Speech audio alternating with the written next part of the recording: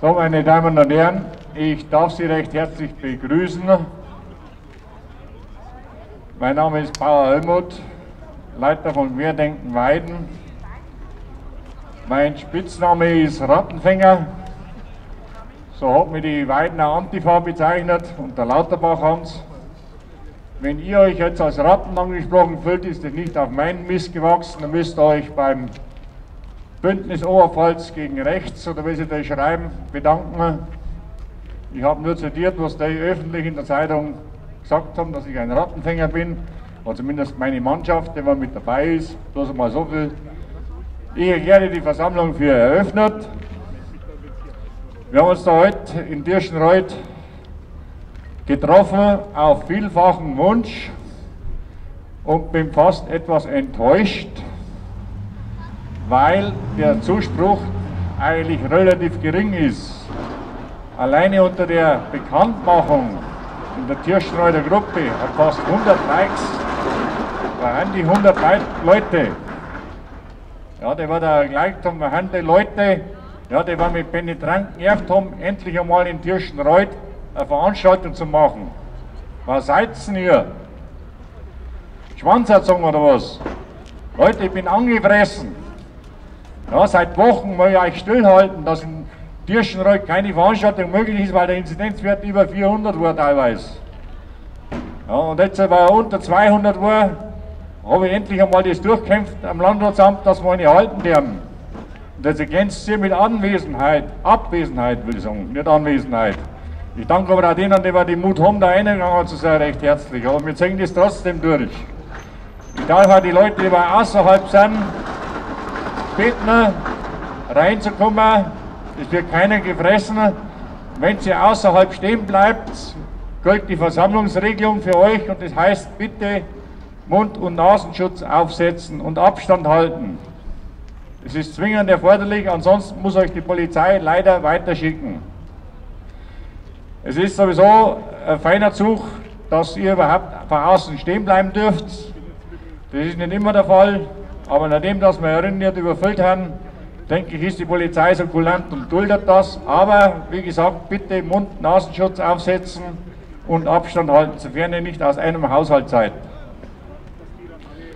Dann habe ich die Aufgabe, auf freiwilliger Basis liegt hier unten zu meinen Füßen eine Liste. Ihr solltet euch auf freiwilliger Basis hier eintragen.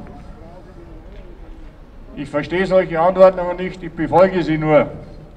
Auf der einen Seite ist verboten, die Maske abzunehmen um eine zu rauchen. Auf der anderen Seite soll ich euch auffordern, hier auf einer Liste zu unterschreiben, weil jeder nacheinander hinbatscht.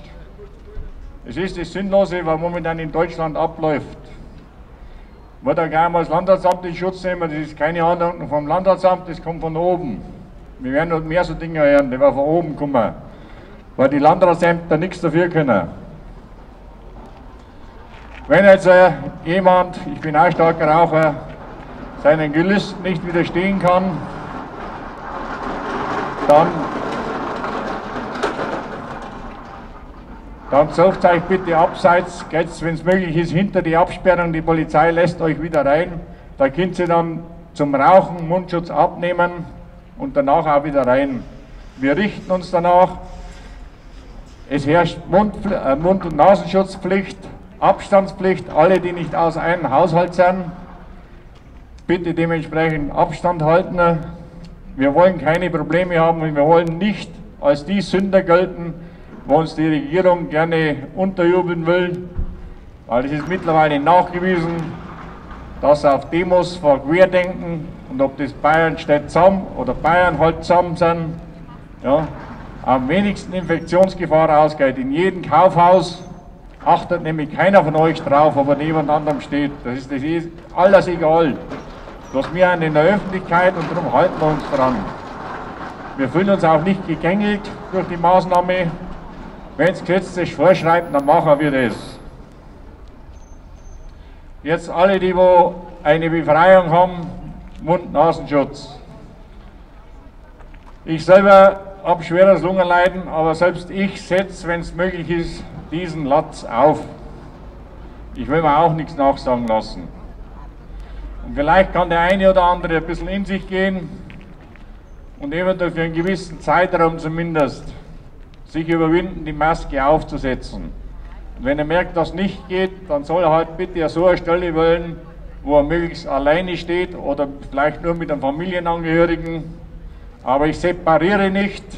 Ich wehre mich dagegen. In den Auflagenbescheiden steht oft mal drin, dass wir einen separaten Bereich ausweisen müssen für Kranke, wo keiner Mund- und Nasenschutz tragen können. Eine Unverschämtheit, was unser Ministerpräsident sich da erlaubt. Das erinnert uns an vergangene Zeiten. Ich will da gar nicht näher betonen, aber ich dulde das nicht. Also, wer bitte nicht dem folgen kann, dass er Mund-Nasenschutz aufsetzt, lasst euch zum eigenen Schutz ein bisschen abseits, ihr müsst ja nicht weggehen vom Schuss, sondern einfach eine Stelle aussuchen, wo ihr drei, vier Meter zum nächsten Abstand habt, dann ist ja der Pflicht Genüge getan. Da brauchen wir uns, uns nichts für halten lassen und ihr euch auch nicht.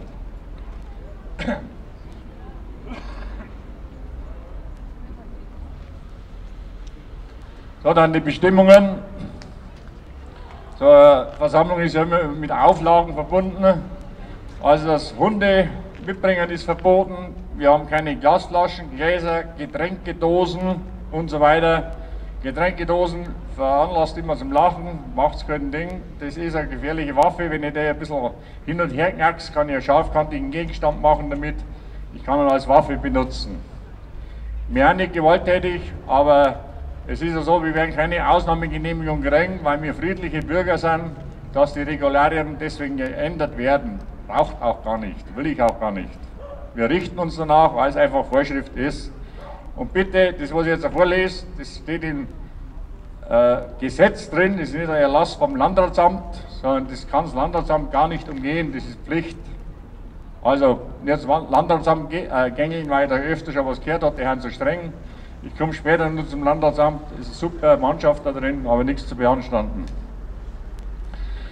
Dann haben wir keine Wurfgegenstände, Steine und so weiter, alles was man schmeißen, werfen kann, was ein bisschen weh tut am Kopf, ist verboten. Wir haben keine Stöcke, die als Schlagwaffe benutzt werden können.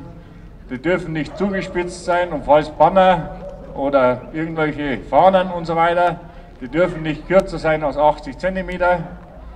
Stiele von Bannern oder Fahnen müssen aus Weichholz sein und keine aus Metall. Erlaubt ist auch nicht Bambus oder Hartholz. Ganz einfach darum, wenn ich die abbreche, stehen, entstehen gefährliche Splitter, da kann ich jemanden verletzen damit. Größe der Fahnen haben wir keine Vorgaben. Und dann jetzt ein ganz heikles Thema. Zunehmend wird die deutsche Kaiserfahne verunstaltet, ja, verunglimpft. Und unser Ministerpräsident erlaubt sogar die Frechheit, diese verbieten zu wollen. Leute, wir haben ein Kaiserreich gehabt von 1800 nur bis 1919 oder 18 und kein Deutscher braucht sich deswegen schämen. Oder hat sie eine andere Meinung? So, und wenn nun der Adolf Hitler hergegangen ist und dieselbe Fahne kurzfristig in sein Reich übernommen hat und mit Emblemen und so weiter versehen hat, dann ist das eine ganz andere Sache. Und sollte einer mit so einer Fahne auftauchen, ja, dann fliegt der Kopf über raus aus meiner Veranstaltung, das gebe ich Garantie dazu. Tut ja auch keine Schriften und sei es, ich liebe Gott in altdeutscher Schrift. Es sind immer so Anzeichen und so Hinweise, wohin ich gehöre. Also, es hat jeder verstanden, was ich will und was nicht. Ich habe mit Dritten Reich nichts zu tun, das waren meine Väter und ich bedauere das sehr. Ja. Aber ich nehme auch nicht die Schuld auf mich. Ja. Die Verantwortung haben andere zu tragen und wir nähern uns sowieso wieder dem Zustand, den wir damals gehabt haben, wenn es so weitergeht. Deswegen sind wir auch heute hier, um dagegen einzuschreiten. Essen, Trinken steht jetzt nicht explizit im Bescheid, aber ist verboten, weil alle Maßnahmen, die dazu führen, dass der Mund-Nasenschutz abgenommen werden muss, sind verboten. Also Ich denke nicht, wenn einer ein bisschen abseits steht und einmal kurz vor seinem Limo trinkt aus Plastikflasche, dass der Polizei irgendwas sagt. Ja. Aber wenn da einer seinen Kaffee und Kuchen verzehren will, dann muss er bitte dahinter der Absperrung Platz nehmen. Das ist nicht erlaubt. Die Raucher, ist halt vereinbart mit der Polizei, geht hinter die Absperrung draußen. Die leiten euch dann wieder rein, auch wenn der Platz voll ist, der bleibt halt gleich hinter der Absperrung, da dürft ihr wieder rein. Singen, Blasinstrumente, Trillerpfeifen sind nicht erlaubt. Und was manchen vielleicht ein bisschen schwer fährt, weil das Wetter so schön ist, das geliebte Bier in der Sonne ist auch verboten. Sollte jemand alkoholisiert sein, dann sollte er bitte den Platz verlassen. Es sei denn, er kann sich so beherrschen, dass man es nicht merkt. Also, das waren soweit jetzt die Bestimmungen. Dann ein paar Regeln zum Umgang mit der Polizei. In letzter Zeit ist ein Image entstanden, das schmeckt mir ganz einfach nicht. Weil wir kennen unsere örtlichen Beamten und die Leute, die haben in einen schweren Kompromiss momentan. Ja, die wollen es auch nicht mit uns verderben, aber die kriegen von oben Anweisungen. Und Anweisungen, das weiß jeder, hat ein Beamter zu befolgen. Ob er demonstrieren soll oder nicht, will ich hier an dieser Stelle gar nicht in Frage stellen. Mir geht es ganz um was anderes. Ja. Dass ihr, die Polizei, ja, achtet und respektiert. Ich denke, dass kein Polizist an diesem Ort ist, der wo euch grundsätzlich was Böses will. Die haben ihre Aufgaben und wenn einer von euch sein Attest vorzeigen muss, dann macht es. Ja, wenn die Polizei den Ausweis sehen will, dann macht es. Die haben das Recht und die Pflicht dazu. Das dürfte an sich kein Problem sein. Und ich werde nicht dulden, dass ein Polizist hier in meiner Veranstaltung beleidigt oder sogar angegriffen wird. Das muss nicht sein.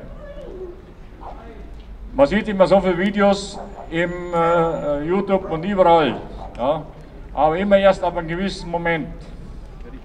Und ich bin selber am Wochenende, letztes Wochenende, aber also Wochenende, vor, ja, vor zwei Wochen, habe ich drei Veranstaltungen an einem Wochenende gehabt. Ich habe keinen einzigen gesehen, der abgeführt worden ist. Es wurden ein paar Leute rausbegleitet, weil sie ja das vorzeigen wollten, aber es ging alles reibungslos. Und so muss es sein. Dann stellt sich ganz normal einfach die Frage, was würdet ihr machen, wenn es Polizist wird? Ja. Auf der einen Seite das Volk, das euch bezahlt, ja, und das sollte für Ordnung sorgen. Ja, und dann ist der Dienstherr, in dem Fall Söder oder Hermann, Innenminister, der Befehle gibt. Ein Zwiespalt. Also machen wir es unseren Polizisten jetzt schwerer, weil sie es eh schon haben. Weil kein Polizist hat Interesse, irgendwie da Ärger zu provozieren oder sonst irgendwas. Das ist jetzt praktisch äh, eine von vielen Veranstaltungen mit einem einzigen Vorfall. Der war in Amberg draußen, weil wir einer wissen wollten, wer stärker ist. Ja, einen kürzeren Song. Aber ich bin auch gleich auf Bühne und habe sowas unterbunden, dass sowas nicht mehr passiert. Und die Polizei wird, wenn es ein Problem gibt, auf jeden Fall zu mir kommen. Erst einmal. Weil ich äh, ganz ein anderes Bild habe von demjenigen, als wie die Polizei. Die Polizei tritt gezwungenermaßen immer als Feindbild auf. Ja, das erzeugt von manchen einfach die Anordnung schon, zeigt mir deinen Ausweis, eine gewisse Aggression. Wenn ich mit dem rede, ich bin ja der gute Kopf, gute, schlechte Kopf kennt man ja. Wenn ich mit dem rede, dann kann ich mit dem ganz anders umgehen, als wie die Polizei. Und wenn er dann nur, immer noch spenstig ist, dann fliegt er raus. Ich kenne da nichts. Weil ich will das Klischeebild, das wo die Polizei abbekommen hat, ganz einfach einmal wieder ins rechte Licht rücken. Ja, und damit es zurückkommt, jetzt war ich beinahe weggekommen davon, die Bilder und die Videos, wenn man da sieht, man sieht es immer erst, wenn einer flach gelegt wird. Was vorausgegangen ist, ja, das wird immer nicht gezeigt. Und ich habe es noch nicht erlebt, wenn ich freiwillig meinen Ausweis und meinen Attest zeige, ja, dass jemand abgeführt worden ist. Also auch immer den Vorspann. Geht ein bisschen kritischer ran an die Sachen. Ich will da nichts beschönigen, Aber wenn man das ganze Ding nicht miterlebt hat, ist das immer eine ganz andere Sache.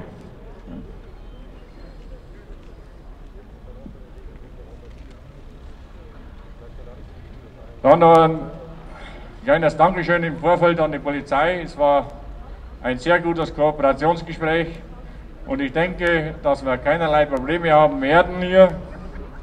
Und am liebsten wären wir, wir würden uns hinterher, wenn die Veranstaltung zu Ende ist, die Hand geben und gegenseitig bedanken. Das mit Hand geben, das klappt nicht, weil es verboten ist, aber der Ellbogenstupser wird zeitweilig einmal praktiziert. Und es waren immer beide Seiten in letzter Zeit zufrieden. Und wir haben uns mit einem Dankeschön, schön war's, verabschiedet. Ich habe es eben schon angesprochen, ihr seid in der Zwickmühle. Und ihr seid auch nicht, und jetzt muss ich ein bisschen ausholen, die Keule kann ich doch nicht ganz in das Satteltasche lassen. Ihr seid ja nicht die Schläger von Berlin. Aber das sind für mich keine Polizeibeamten. Die wollen mit Wasserwerfer auf Leute reinhalten. Ich habe das erlebt am Reichstag hinten, war mit Tränengas ohne Grund auf Frauen und Kinder gespritzt worden ist. Aber das ist ein ganz anderes Kaliber. Das hat mit unserer Polizei, auch mit den Unterstützungskommando, die Herren in Dunkelblau oder da umstehen, nichts zu tun. Das sind Spezielle. Ich bezeichne die nicht einmal mehr als Polizisten. Ja, weil ich hab, war zweimal um in Berlin bei großen Veranstaltungen, war in Leipzig. Ich habe auch Polizisten, Polizisten in dieser Uniform gesehen, die waren nett und freundlich waren. Also macht es da ein bisschen einen Unterschied. Ja. Weil wir Menschen auch, dass wir einen Konsens finden, es kann nicht so weitergehen. Und dann im Übrigen, das gilt also für beide Seiten, für Polizei und für uns. Es kommt ja der Tag, wo ein Tag danach da ist, weil wir miteinander wieder ausgekommen werden, weil wir im Wirtshaus gegenüber sitzen, mit einem Polizisten. Ja, und es wäre schade, wenn wir uns so weit bringen lassen, dass dieses Schöne, was wir bisher gehabt haben, im Nachhinein nicht mehr herzustellen ist.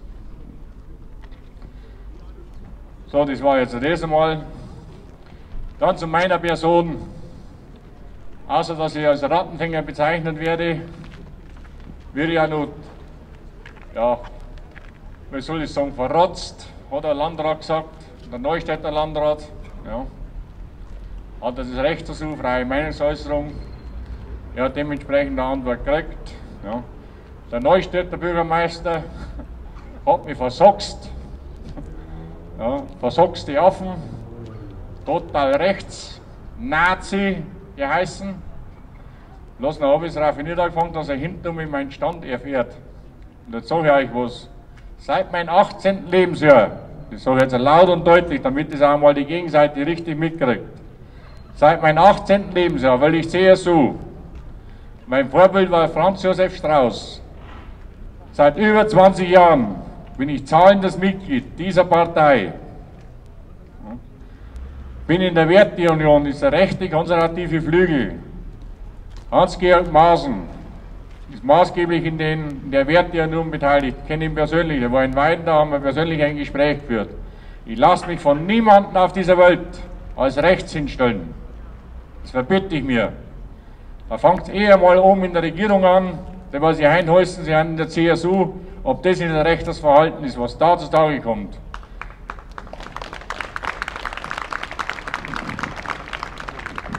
Aber wenn sich ein Söder bei Anni Will hinstellt und sagt, wir müssen unsere Kinder impfen, damit sie frei werden, in der 38. Minute hat er das gesagt, wortwörtlich. Da fühle ich mich in Zeiten versetzt, die war ich nie erwähne. Aber das hat man schon, wo oben das Freistand. Ja. Und das ist für einen Ministerpräsidenten, das öffentlich zu sagen, schon ein starkes Stück. Und ich sage eins, Markus Söder, als Bayern, als Oberpfälzer, lang du mir meine Kinder an, dann siehst du mal, was los ist in Bayern. Ich warne dich nur. Und ich denke, dass ihr nicht anderer Meinung seid, oder? Der Mann ist ja so feige. Ein Angsthase. Die wenigsten von euch haben sie erst in der Zeitung erfahren, dass er da war im Mehring an der Grenze. Er hat er nicht einmal den Mut gehabt, das vorher bekannt zu geben. weil er Angst gehabt haben, dass er mit Missgabe oder mit Stöcken kommt und ihn davonjagt. Schön und heimlich läuft das alles ab. Wenn ich ein Ministerpräsident bin und gerne mal Landesvater genannt werden möchte, dann muss ja die Courage haben, vor die Leute hinzutreten und die Sachlage klarstellen. Franz Josef Strauß war bestimmt ein harter Mann, aber auch er wurde bezwungen mit der WAA. Da habe ich nur live miterlebt. Auch er musste in die Knie gehen, aber er hat keinen bayerischen Bürger das nachgetragen, auch keinen deutschen Bürger. Irgendwann hat er gesehen, dass das Volk zu stark ist und der Wille vom Volk zu stark ist. Und das müssen wir uns als wieder auch klar machen. Aber wir machen das auf eine Art und Weise. Damals in Wackersdorf ist es ein bisschen härter zugegangen. Ich lehne Gewalt ab. Wir haben jetzt ungefähr so 35 Prozent, der wir überzeugt sind, dass das nicht in Ordnung ist und unangemessen ist, was momentan abläuft. Und wenn wir mal über 50 Prozent sind, 60 Prozent, und dann geschlossen am 1. und am 28. August in Berlin stehen mit 3, 4 Millionen. Da muss die Regierung abdanken und Neuwahlen ausrufen, noch vor dem September oder wann die nächste Wahl ist. Und das ist mein Ziel. Und da gibt es keine Gewalt. Nicht ein Sandkorn wird da geworfen. Wir machen das friedlich und wir schaffen das. Ich war zweimal oben und es waren Millionen. Dankeschön. Wir brauchen keine Gewalt, wir schaffen das friedlich. So, dann einmal zu den Kooperationsgesprächen. Das war äußerst interessant. Ich muss Landratsamt loben, also die Beamten da drin, Respekt. Ich nenne keine Namen, aber freundlich, bestimmt. Es war eine harte Sache zu verhandeln. Wahrscheinlich liegt es an mir, weil ich nicht nachgebe, bis ich meine Ziele durchgesetzt habe. Aber was ich noch bisher noch nicht erlebt habe, dass ein Bürgermeister anwesend war und sogar der zweite Bürgermeister. Also es war mir schon echt angenehm, mal so geehrt zu werden, ja, dass selbst die Herren die Zeit finden, an einem Kooperationsgespräch mitzumachen. Dafür möchte ich mich recht herzlich bei eurem Bürgermeister bedanken. Aber wahrscheinlich bin ich in den Ort da der Einzige, der noch einmal in Schranken weisen hat müssen. Das scheint anscheinend nicht ganz so einfach zu sein in Dürschenreuth. Man, ich habe es ja mit dem Gespräch gemerkt, weil er wollte unbedingt, dass ich diesen Platz hier nicht benutze. Und da musste ich Ihnen förmlich darauf hinweisen mit folgendem Satz. Mein Name ist Helmut Bauer, ich bin deutscher Staatsbürger und in diesem Ort suche ich mir den Platz aus, wo ich meine Demonstration halte und nicht Sie, Herr Bürgermeister. Da wollte er nur recht was sagen, da ist aber der Beamte vom Landratsamt, hat gesagt, der Herr Bauer hat recht, das ist so. Dann kam ein schöner Satz, an seiner spielt er gern Schafkopf, da haben wir schon wieder, der Obersticht wieder mal den Unter. Aber das hat ein wenig genutzt. Auf jeden Fall hat er dann gleich gemeint, weil das Ding rum ist, äh, er muss nur mal querschießen und dort auf der Stadtseite, und das ist eine Blamage für die Stadt, wenn ein Bürgermeister sich sowas antut, dass er öffentlich auf der Stadtseite verkünden muss, dass, es, dass sich die Stadt ja, und die Feuerwehr mit reinzieht, ja, von dieser Veranstaltung hier distanziert, dann muss ich mal sagen, Herr Stahl, wer sind Sie überhaupt? Ja, dass Sie sich das Recht ausnehmen, unbeteiligte Personen da reinzuziehen. Ich weiß ja nicht, ob es stimmt. Es ist auf jeden Fall anders gewesen. Erst wollten wir ja unten auf den Fleck gehen. Dann haben wir uns geeinigt, wir gehen hierher. Dann kam plötzlich der Einwand, das geht nicht, weil ich ursprünglich Vormittag das Ding machen wollte. Ja, dass die Feuerwehr hier ihre Drehleiter präsentieren will. Ich weiß nicht, ich habe nirgends was gefunden, das angekündigt gewesen wäre. Vielleicht habe ich es auch übersehen. Nimm mir auf mich. Ja. So. Dann habe ich gesagt, gut, kein Problem, dann machen wir das Ding Sonntag. Nein, das geht überhaupt nicht Sonntag, weil da ist der Platz zu viel frequentiert. Ja, so ich gesagt, glauben Sie etwa, dass ich im Ernst mein Leid unterrichten will? Ich will die Tierschneider Bevölkerung unterrichten, deswegen will ich den Platz hier. Wir hätten nämlich aus dem Fechtplatz raus sollen, dass ja keiner was mitkriegt von den bösen Buben aus Weiden da unten. Weil ich äußere mich jetzt nicht mehr weiter zum Bürgermeister. Mal schauen, ich habe mich auf jeden Fall dazu äh, gebracht, weil solche Burschen, die reizen mich immer. Wenn wir Bürgermeister reizt, sehe ich ihn gern öfter mal. Das heißt, wir werden uns wiedersehen hier, auch mit größeren Veranstaltungen. Und ich hoffe, dass dann sehr viele Tirschenreuter die Courage haben, herzukommen. Es ist immer ein Problem, ich habe schon ein gewisses Verständnis auch. Ja, viele von denen waren noch nie auf einer Demonstration, weil du bist ja ein Staatsfeind und ein Verbrecher, wenn du da hingehst. Aber es wird ja ein Livestream gemacht, die werden das dann verfolgen. Manche verfolgen schon schön abseits. Ja. Und die sehen, dass es eigentlich eine ganz normale Informationsveranstaltung ist, dass wir keine Chaoten sind. Und beim zweiten und dritten Mal werden wir wesentlich mehr sein.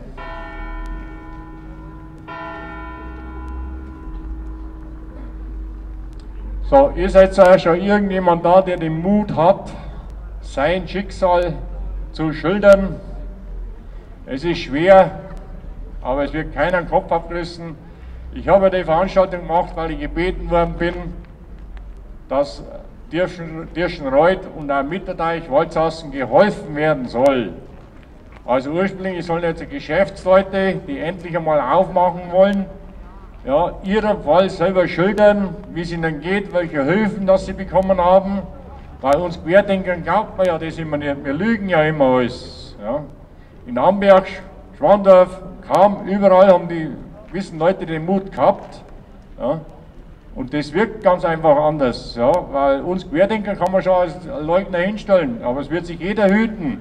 Ja. Ein Kaufmann oder ein Gastwirt, ja, der angesehen ist hier im Ort und einfach sagt, dass er momentan am Schlauch steht, weil immer wieder versprochen wird und keine Hilfen kommen. Das soll er mal sagen, wie es ist. Ja, dass er geködert worden seid mit 75% vom Umsatz. Für alle, die in der Buchführung nicht so fit sind, der Umsatz ist die Tageseinnahme. Wenn ich also am Tag 10.000 Euro oder im Monat, machen wir im Monat, 10.000 Euro Umsatz habe, Einnahmen, kriege ich 75 Prozent davon, also 7500 Euro, wenn ich nichts tue, nur weil ich mein Lokal zusperre. Das halt eigentlich ein blöder eigentlich vor, vorab sagen können, ja, dass das nie funktionieren kann. Schon mal aus zwei Gründen. Ja, weil schon mal die EU das verbietet, und das war ja dann tatsächlich der Fall.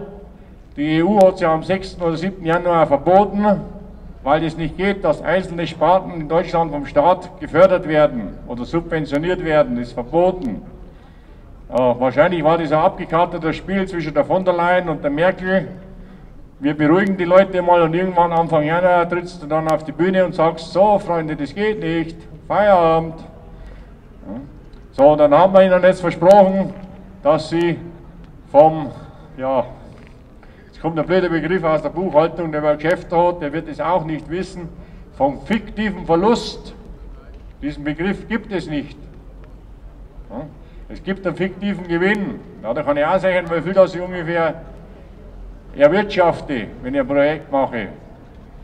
Und der fiktive Gewinn ist meiner Meinung nach, wenn ich heute mein Lokal aufmache und habe 1000 Euro Umsatz, Ausgaben, ja, also nicht Umsatz, Ausgaben, bekomme aber nur 750 Euro rein.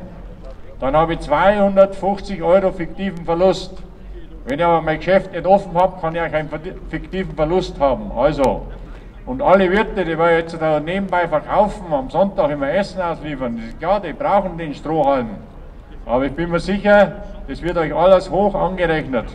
Nicht, weil ihr so gütig seid, sondern weil ihr den Fehler gemacht habt. Weil die ersten Dinge haben schon gekommen, einer habe ich gelesen, der hat 3 Euro gekriegt, der andere 6 Euro. Also könnt ihr selber praktisieren, wie das weitergehen soll. Ich hätte eigentlich schon erwartet, ja, dass die äh, Wirte die Bühne nutzen, aber die haben anscheinend keinen Bedarf. Da stellen sie lieber irgendwo abseits mit einem Tisch, mit einem gedeckten Tisch. Macht das. Ja, ich habe mich auch schon mal negativ über die Wirte geäußert, zu dem stehe Wir praktizieren das ja jetzt schon über ein Jahr.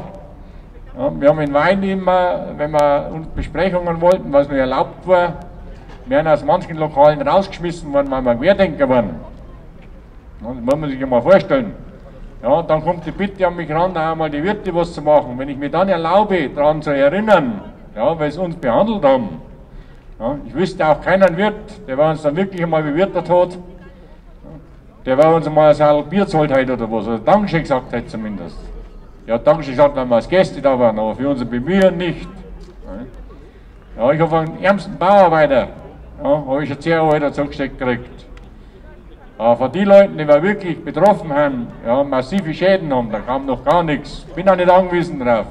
Wir haben immer noch euch, ja, die wir uns finanzieren, weil wir haben einfach unheimliche Unkosten. Und wir werden dann mit der Spendenbox rumgehen, vielleicht kann der eine oder andere ein bisschen was übrig zwacken. Und das ist bitte dann eine Schenkung, weil Spenden müsste man versteuern. Und ich darf daran erinnern, der Anlauf, der jetzt gekauft hat, der hat 2050 Euro gekostet. Wir brauchen ein bisschen Geld, das Spritgeld. Wir wollen ja nichts für unsere Arbeit, aber ein kleiner Opulus wäre vielleicht nicht schlecht, wenn der eine oder andere, weil langsam geht es für uns gescheit in die Miesen. Weil wenn wir dann nochmal nicht mehr fähig haben, weil es finanziell nicht mehr hinhaut, auf die Straße zu gehen, ihr Leute schafft es auch nicht, weil es meint immer ein paar sein, die will vorangehen und das alles antreiben und vorauslaufen.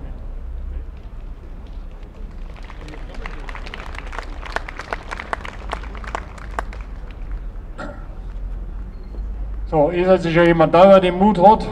Jawohl.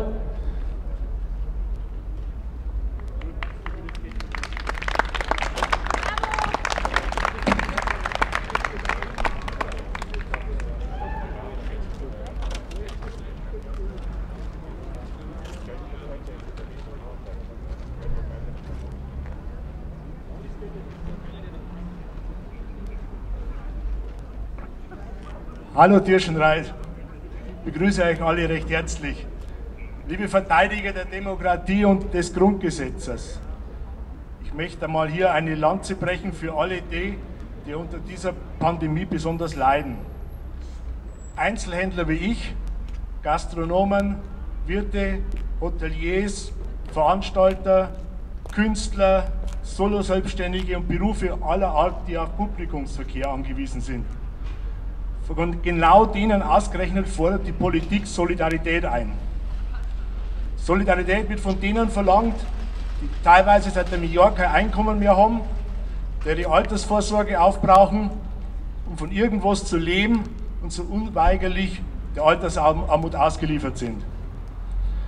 Von denen verlangen genau diejenigen Solidarität, die seit nun einem Jahr andauernden Malaise noch nie auf einen einzigen Cent verzichten haben müssen die, die sich sogar in der Situation noch bereichern, wenn man kürzlich in den Medien erfahren konnte. Warum setzen wir nicht die Politiker, die in Berlin oder in München so mit unserem Schicksal umgingen und auch unsere Bürgermeister und Landräte auf allerhöchstens 50 Prozent ihres Gehaltes? Solange bis dieser unsägliche Lockdown solange bis dieser unsägliche Lockdown endlich vollständig aufgehoben ist. Ich denke an die Familien zu Hause, die sich seit Monaten mit Homeschooling abkämpfen.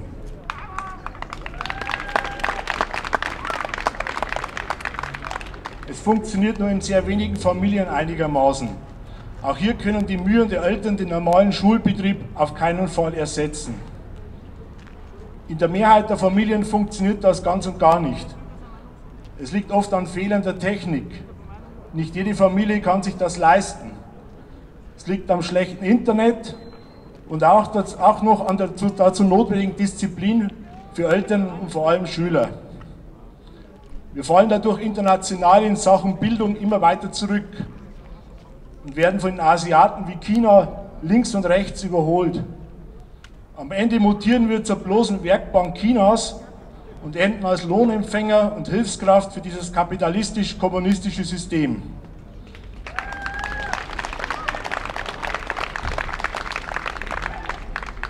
Wir alle zusammen können es verhindern. Im September sind hoffentlich Bundestagswahlen. Stoppen wir diese Politiker und deren Politik.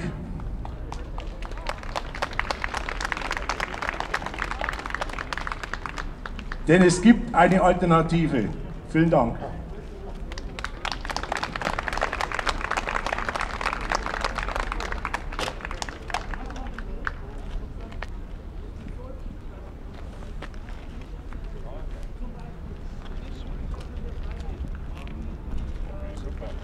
Nein.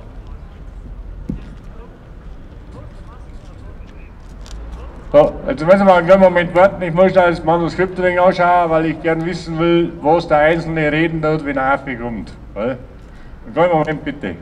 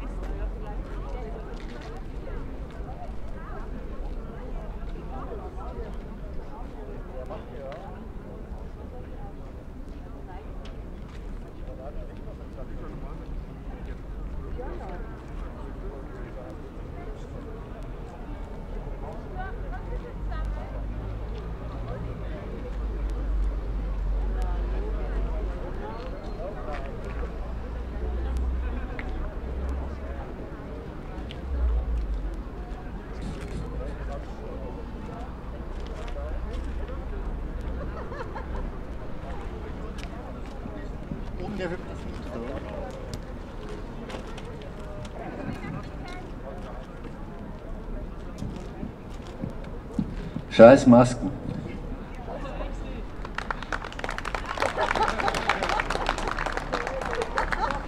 Ja, servus miteinander. Ich bin der Günther und ich habe mir, jetzt, hab mir jetzt ein paar Sachen zusammengeschrieben, weil ich nicht so professionell bin wie die anderen vor mir, dass die da frei sprechen. Also ich werde das meiste leider ablesen müssen. Also, mir geht es als erstes Mal um diese sogenannten Verschwörungstheorien. Ich war jetzt gerade heute in Weiden, habe angemerkt, ich fahre nach Regensburg, äh, nach, nach Tirschenreuth zu der Demo, zu den Querdenker und da kam natürlich gleich wieder dieses ganze Framing. Nazis, Corona-Leugner, der ganze Scheiß halt. So, und da, da ist teilweise sinnfrei, den Leuten zu versuchen, das zu erklären. Und äh, ja, ich habe es dann aber erlassen. Aber da will ich jetzt zu dem Thema mal ein bisschen was sagen. Da haben wir gestern Nachmittag habe ich was zusammengeschrieben. Also ich sehe das so. Viele sogenannte Verschwörungstheorien behaupten jetzt in diesen Corona-Zeiten, durch die Corona-Politik würden die Grundlagen für den grundsätzlichen Umbau unserer Gesellschaft gelegt. Ich halte diese These für höchst fragwürdig. Ich bin schon sehr besorgt, was dieses Thema betrifft und was von gewissen mächtigen, reichen Menschen für die Zukunft geplant ist. Wenn wir uns aber nicht weiter spalten lassen in rechts oder links, beziehungsweise oben, unten, in Corona-Maßnahmen Kritiker und Corona-Maßnahmen Gläubige, wenn wir diesen machtgeilen Politikern also Gegenwind geben, haben viele dieser Ideen überhaupt keine Chance mehr. Vieles lässt sich sowieso nicht aufhalten und manches bringt natürlich auch Vorteile, je nachdem, wie wir das gestalten. Doch seit der Corona-Krise bin ich sehr alarmiert und skeptisch, was die Kraft dieses Gegenwindes betrifft. Intelligente Menschen lassen sich so leicht manipulieren und in Angst und Schrecken versetzen, gehen mit allen Maßnahmen konform oder passen sich an, weil sie sonst niedergemacht oder lächerlich gemacht werden. Ich finde nicht, dass wir jetzt, dass wir jetzt in Schreckensstarre verfallen müssen und ich glaube auch, dass vieles heißer gekocht wird, als es gegessen wird. Doch kann eigentlich jede beliebige Notsituation autoritäre Strukturen hervorrufen oder verfestigen. Zum Beispiel kann der reale Klimawandel anders sein für ausgedachte oder übertriebene Krisen und das Volk muss wieder konform gehen mit Maßnahmen, die diese angebliche Krise verhindern könnten. Seit Corona kann ich mir Dinge vorstellen, die ich mir vorher nicht vorstellen konnte und die ich jetzt aber real erlebe. Ich kann mir vor allem vorstellen, dass die Erderwärmung als Vorwand benutzt wird, Dinge autoritär durchzusetzen und Notsituationen ähnlich der Corona-Krise künstlich hervorzurufen. Dann können die Menschen nicht mehr selbst ihre Zukunft gestalten, sondern gehen konform mit dem, was ihnen vorgegeben wird und glauben, dass es gut für sie ist. Natürlich fand, natürlich fand das alles schon immer statt, aber doch viel verhaltener wenn aufgeklärte, gebildete, intelligente Menschen, die Zugang heutzutage zu jeder Information haben können, nicht aufwachen und sich eine eigene Meinung bilden, dann kann man mit diesen Menschen fast alles machen. Das ist zumindest mein Eindruck. Dann wird. Danke.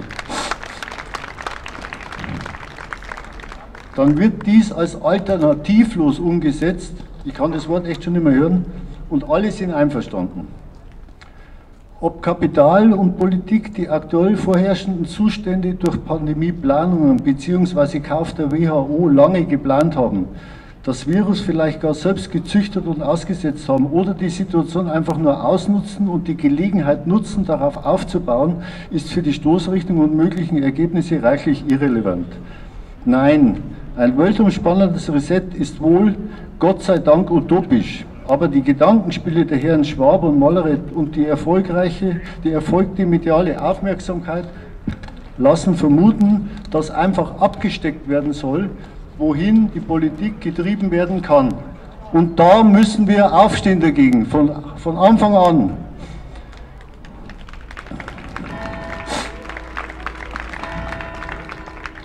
Die Sorge muss sein, dass sich die Politiker der Länder geistig von den Davos-Jüngern leiten lassen, um individuelle Vorteile für sich in ihren Ländern zu erreichen. Wenn ich sehe, dass Merkel, Lauterbach und Konsorten Ende 2019 öffentlich praktisch nicht mehr Existenz waren, dass Macron von den Gelbwesten sehr unter Druck war und seine Umfragewerte in den Keller gingen, die spanische Politik in immer unruhigere Gewässer geriet, nur um einige uns nahe Beispiele zu nennen, dann ist nicht ein Virus daran schuld, dass sich alles ändern, sondern die Maßnahmen, die scheinbar dagegen aufgerufen wurden, aber in Wirklichkeit eine Gelegenheit waren, die Menschen so zu unterdrücken, dass ihnen Hören, Sehen und vor allem das Denken verging. So.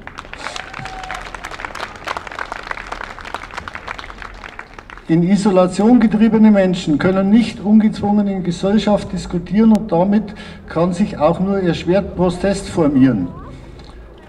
Ängste bezüglich einer Weltregierung. Jetzt geht das Ding kaputt. So was kaputt gemacht, oder? Ja, Entschuldigung. Ja, alles klar, gut.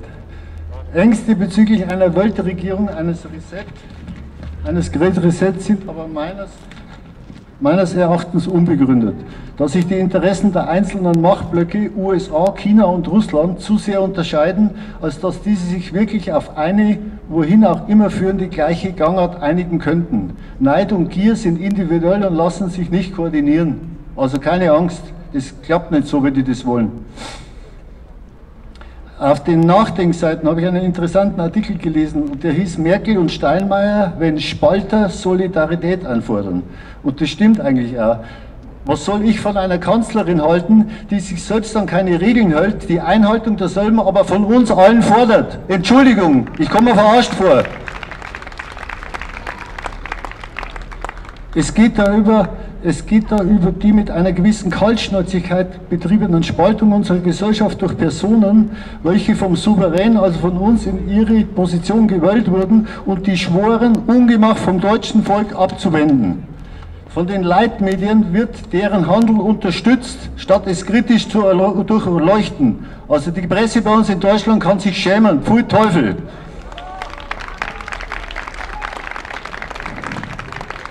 Kritisiert werden all diejenigen, welche sich mit den betroffenen Maßnahmen unisono gehen. Bewusst wird eine vergiftete Atmosphäre der Alternativlosigkeit geschaffen, welcher sich wahrscheinlich viele Bürger macht- und schutzlos ausgeliefert sehen.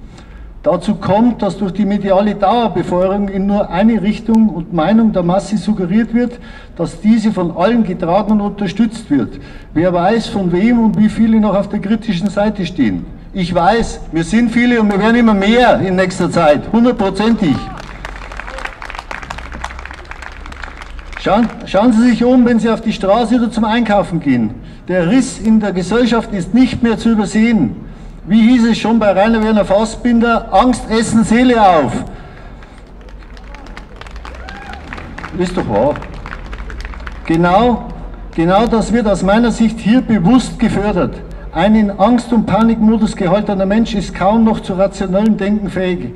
Er klammert sich in der Hoffnung auf Besserung an jeden Strohhalm, welcher ihm von den agierenden Protagonisten, die ihn erst in diesen Zustand versetzt haben, hingehalten wird.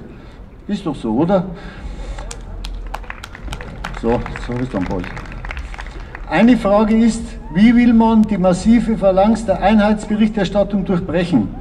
Eines der Hauptprobleme bzw. meine Fragen sind, Wie bekomme ich Menschen wieder dazu, bewusst zu denken? Dass im Rückblick auf eine seit Jahrzehnten betriebene mediale Beeinflussung mit Berieselung durch Nichtigkeit und Belanglosigkeiten, welche zu Themen von Wichtigkeit aufgebauscht wurden, solche Denkfaulheiten begünstigt oder sogar erst möglich gemacht wurden, ist mir klar geworden. Dazu kommt ein ebenfalls bewusst herbeigeführter Abbau im Schul- und Bildungssystem mit Gleichschaltung der Lehrinhalte. Ein Riesenproblem. In den 60er Jahren in den 60er Jahren gingen die Studenten gegen verkrustete Lehrinhalte und Einrichtungen auf die Straße. Heute wartet man vergeblich darauf, dass von dieser Seite etwas kommt. Also Entschuldigung. Das große Problem ist, mittlerweile wird dort systemkonform ausgebildet und Abgänger dieser Institutionen sitzen dann später an den Hebeln der Macht in Industrie, Politik und Medien. Wie soll sich angesichts dieser Übermacht noch eine Opposition bilden? Beziehungsweise eine finden. Es ist mehr als traurig und bedenklich, wenn man sieht, was aus dem Parlament unseres Landes geworden ist. Sie sind zu einer Echokammer der Regierungsmaßnahmen verkommen. Pfui! Wo ist die Opposition? Es ist nicht erschreckend, dass man mittlerweile konstatieren, feststellen muss, die einzigen kritischen Stimmen zu dieser Harakiri-Politik kommen eigentlich bloß zum Teil aus der AfD und der FDP. Wo, sind die, wo ist die Linke? Ganz vergessen. Von der SPD will ich hier als Mitträger der Regierung Anfang gar nicht reden. Ein Totalversagen auf aller Ebene. Die Grünen eine nicht, die Grünen eine nicht mehr wählbare Verbots- und Vorschreibepartei, die den basisdemokratischen Ansatz bzw. die Möglichkeit von Volks- und Bürgerentscheidungen im November 2020 aus ihrem Parteiprogramm gestrichen hat. Warum? Feuchte Koalitionsträume mit den herrschenden Altparteien.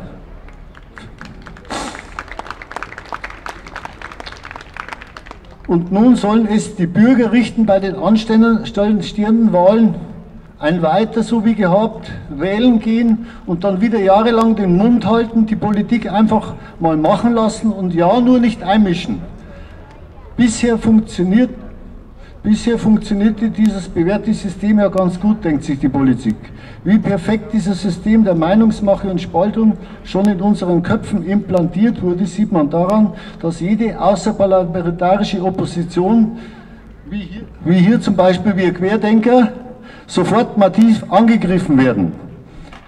Der Witz daran, dass die Kritik mitunter sogar die heftigste selbst aus den Kreisen kommt, welche darüber froh sein sollten, dass jemand was auf die Beine stellt. Und jetzt hätte ich gerne Applaus für den Hallo Bauer, weil der macht es möglich. Ohne den da wir alle nicht da sein. Da ist es so. Es wird in gesteuerter Haarklauberei darüber diskutiert, wer oder was auf, der, auf die Straße geht und ob man sich dabei gemein machen sollte. Während im Bundestag weiter alles abgenickt wird, kommt die Frage nach dem Versagen der Politik nicht aufs Tablett. Dafür sollten ja eigentlich unsere Medien sorgen. Die aber gehören mittlerweile zum System und Machtapparat und werden Ross und Reiter sicher nicht benennen.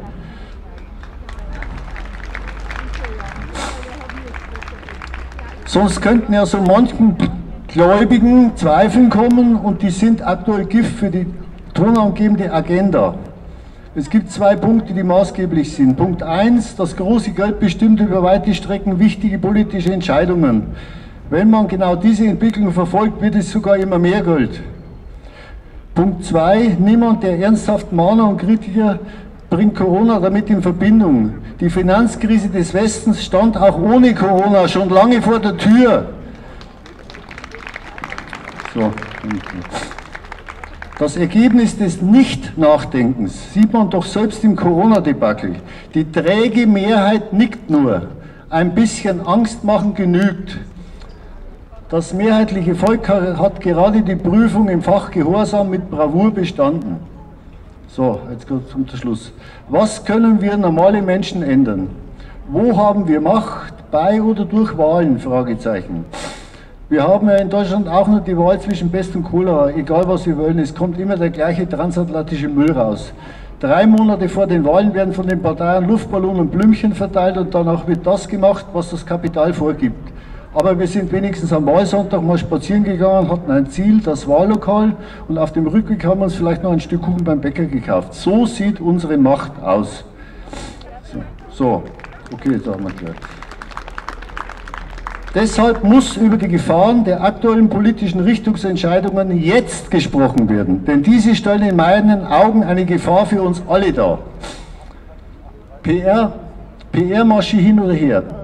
Diese Gefahr halte ich für so konkret wie zuvor zum Beispiel die schleichende Schaffung flächendeckend prekärer Beschäftigungen oder die Privatisierung der Daseinsvorsorge in Deutschland sowie das Führen von völkerrechtswidrigen Kriegen mit insgesamt Millionen getöteter Menschen, legitimiert durch Lügen, durch neoliberale deutsche Politik der sogenannten Mitte. Das sind meine Volksvertreter. Pfui. Politische Entscheidungen in den letzten 30 Jahren wurden zu allen zugunsten der oberen 10.000 getroffen und zu Ungunsten der restlichen 99 Prozent.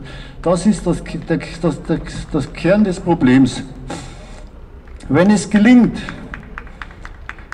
wenn es gelingt, einer Bevölkerung von 83 Millionen, wie bei uns in Deutschland, den Tod von ca. 37.000 Menschen, die angeblich an oder mit SARS-CoV-2 verstarben, als nationale Katastrophe zu verkaufen, obwohl im selben Zeitraum etwa 900.000 Menschen an anderen Ursachen verstarben. Sorry, da ist bei mir Hopfen und Maus verloren.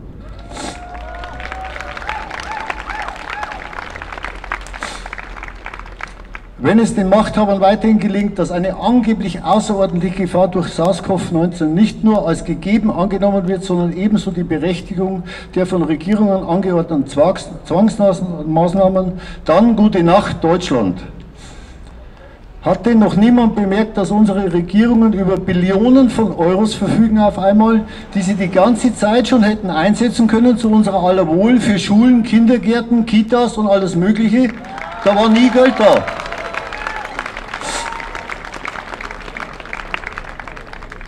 Ich will nicht zum Status quo vor Corona zurück und ich sehe in der Krise historische Chancen. Echt, ich habe Hoffnung. Diese Hoffnung trifft zurzeit zwar erst für die ganz Mutigen von uns zu, nämlich jene, die es wagen, sich angstfrei ohne Maske zu unterhalten, die keine Angst haben, ihre Freude dadurch zu, Freunde dadurch zu verlieren, dass sie weiter eine Meinung vertreten, die die Angemessenheit der von der Regierung beschlossenen Maßnahmen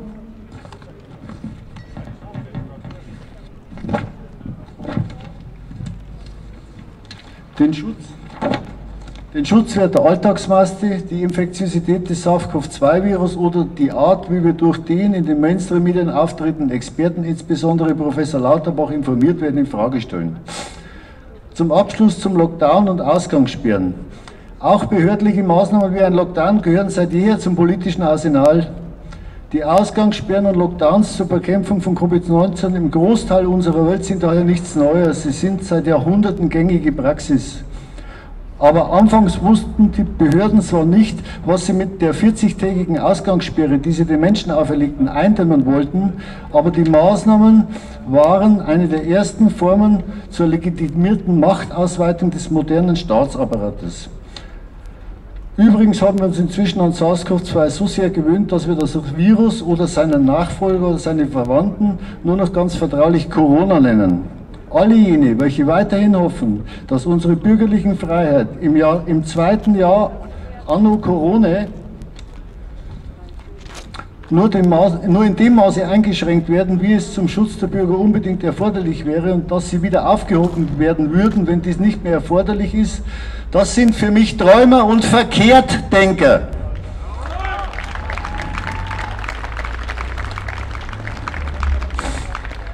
Letzter Satz. Die Leute fragen sich, was hinter dem falschen Alarm, hinter dem Pandemiefake steckt. Wenn es nicht unsere Gesundheit ist, was für ein Ziel haben sie dann?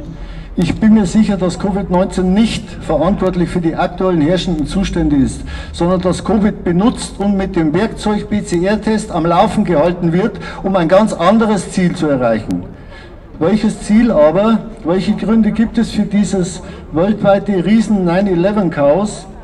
Meiner Meinung nach Reibach machen durch Tests und Impfungen, billiger Aufkauf des Mittelstands, Abschaffung des Bargelds als Teil einer Währungsreform, aber auch Bestandteil von ausgefeilten Einrichtungen zur Kontrolle der Bevölkerung. Und wenn man schon dabei ist, schlimme Überlegungen anzustellen, manche meinen möglicherweise, es gibt auch das gruselige Ziel Bevölkerungsreduktion über das trojanische Pferd Impfung. Das finde ich Quatsch. Ich glaube das nicht, äh, das wäre zu rabiat. Aber diese Machteliten haben sich aufgrund ihrer Abgehobenheit und selbstgewählten Isolation von der Vitalität und Dynamik des allgemeinen, alltäglichen, gesellschaftlichen Miteinanders ausgeschlossen. Das heißt, das heißt, sich damit nur auf die Verhinderung des Angriffs auf das von ihnen etablierte und starre System des letzten Überlebens des Stärksten fixiert. Ihrer Ansicht nach befähigt dazu nur finanzielle Potenz. In diesem Zusammenhang sei auf deren schon lange vor Corona deklarierte Abneigung verwiesen, dass ja Bill Gates und alle wollen ihre Kinder nicht impfen lassen, komischerweise, ja, obwohl die Impfung so toll ist.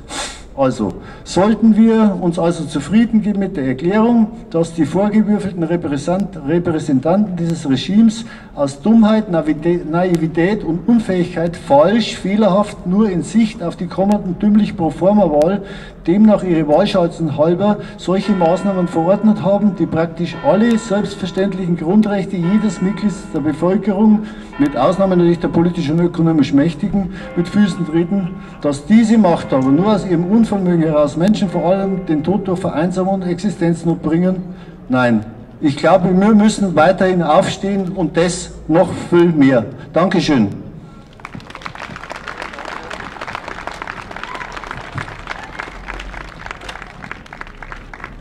Jetzt machen wir eine kleine musikalische Einlage. In der Zwischenzeit kann der Stadtrat, der da von draußen zuschaut und geäußert hat, dass man die Scheiße laut genug hört, kann er sich da Klopapier holen und die Scheiße wegputzen.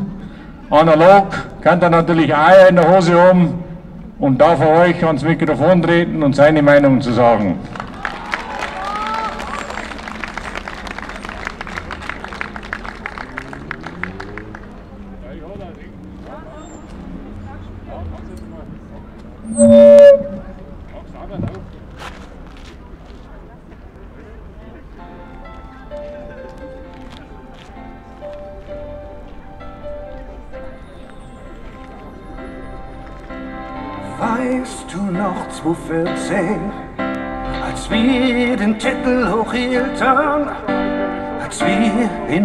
Unserem Land, als wir uns noch wohl fühlten? Weißt du noch, wie glücklich wir damals gewesen sind?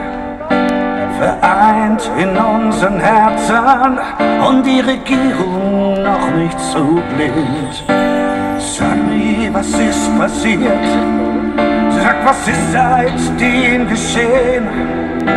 Warum müssen wir uns hier treffen? Warum müssen wir hier widerstehen? Wir, jetzt stehen wir wieder auf der Straße. Und wir hoffen, dass das wie 89 friedlich bleibt friedlich bleibt. Wir, jetzt stehen wir gemeinsam auf der Straße, weil es gesamt Deutschland auf dem Asphalt treibt. Umweltschutz ist wichtig, das wissen wir haben Respekt. Aber sind wir doch mal ehrlich, ist sich der Deutsche, der diese Welt verträgt. Und doch sind wir gern Vorbild, wie in der Flüchtlingspolitik. Aber hat das nicht auch Grenzen, wenn man spürt, dass daran sein Land erstickt? Nur weil wir es können, ist kein Grund. Habt ihr die alten Baustellen nicht gesehen? Und bevor ihr uns hier weiter spaltet, sollten wir hier wieder alle stehen.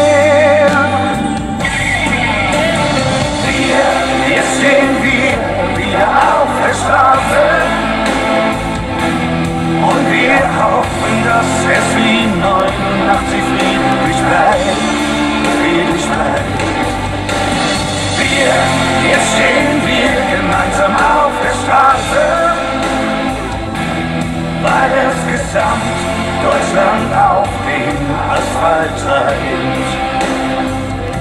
Wir sind nicht links, wir sind nicht rechts, wollen schon gar nicht die Mitte sein. Wir wollen, dass ihr da oben endlich versteht, um was es dreht. Einigkeit, Recht und Freiheit und Stolz auf unser Land. Das klingt wie alte Religien, die man hat uns zunächst schon aberkannt. Ans Recht sich nur noch der Bürger. Einigkeit ist nicht mehr gewollt. Meinungsfreiheit wird beschnitten und den Rest sich das Finanzamt holt. Sag wirklich Zeit aufzuwachen, sag wirklich Zeit aufzustehen. Sollten wir uns nicht alle verbinden und gemeinsam auf die Straße gehen? Wir, jetzt stehen wir wieder auf der Straße.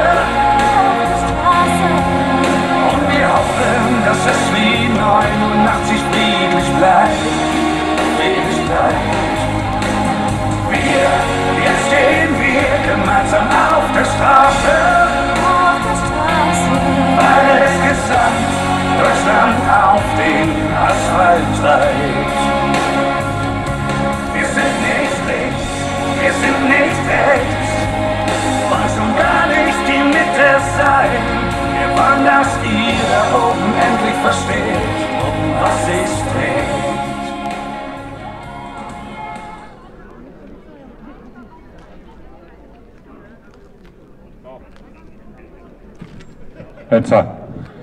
Jetzt leider kurz ein Lied, das GEMA-pflichtig ist, anspielen, haben wir aber extra bei der GEMA erkundigt. Wenn ich das im Rahmen eines Sachvertrages anspielen lasse, ist das erlaubt.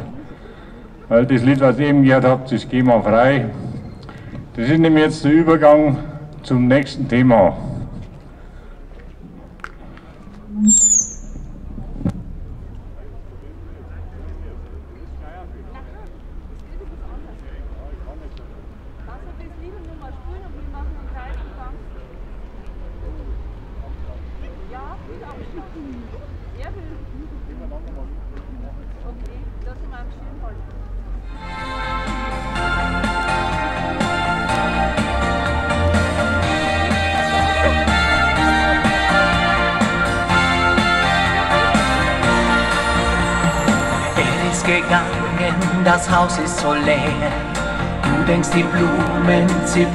Niemals leer. Und alle Sonnen erfrieren im Eis der Traurigkeit.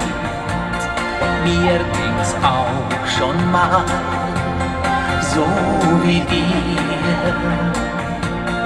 Das ist nicht der Tod, glaube mir.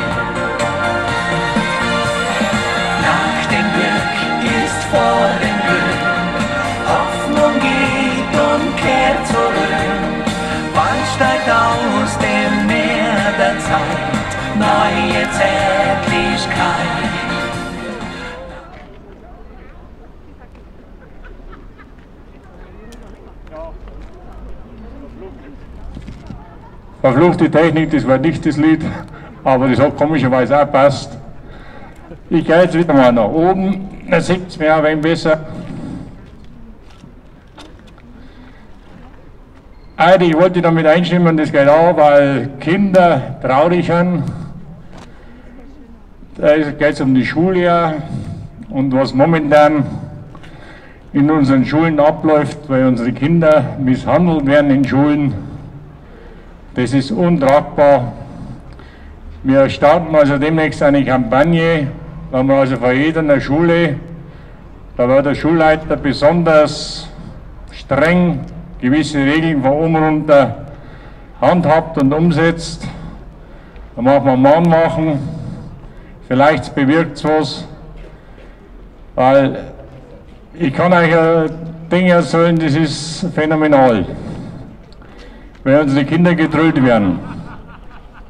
Schon gleich Kindergartenkinder. Äh, ich habe einen schweren Unfall gehabt, habe einen Wirbelsäule gebrochen, war die lange Zeit zu Hause. In dem Moment ist mein Nachbarsmädchen geboren worden und da war es vier Wochen alt, der Nachbar noch abgebrannt. Da habe ich das Kind teilweise mit aufgezogen. Das ist wenn meine Enkeltochter. ist jetzt sechs Jahre alt geworden, letztes Jahr. Und da war die drüben am Geburtstag, da war der Opa und Oma da. Die wohnen 15 Kilometer weg. Das Mädel, ich komme rüber, das sitzt sofort auf meinen Schoß. Das ist sowas von selbstverständlich. Da sagt Mutter, ich setze halt mal von Opa oder von der Oma auch hin, am Schoß. Da sagt das Kind, nein, darf ich nicht, den Kindergarten verbinden sie es. Ist doch paradox, aber soll nicht.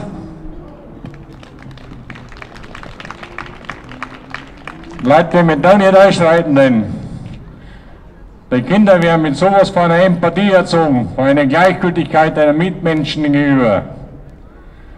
Ich führe viele Diskussionen, wir haben intern bei uns Diskussionen. Weil das ist ein Problem, weil Kinder dann ausgegrenzt werden in der Schule.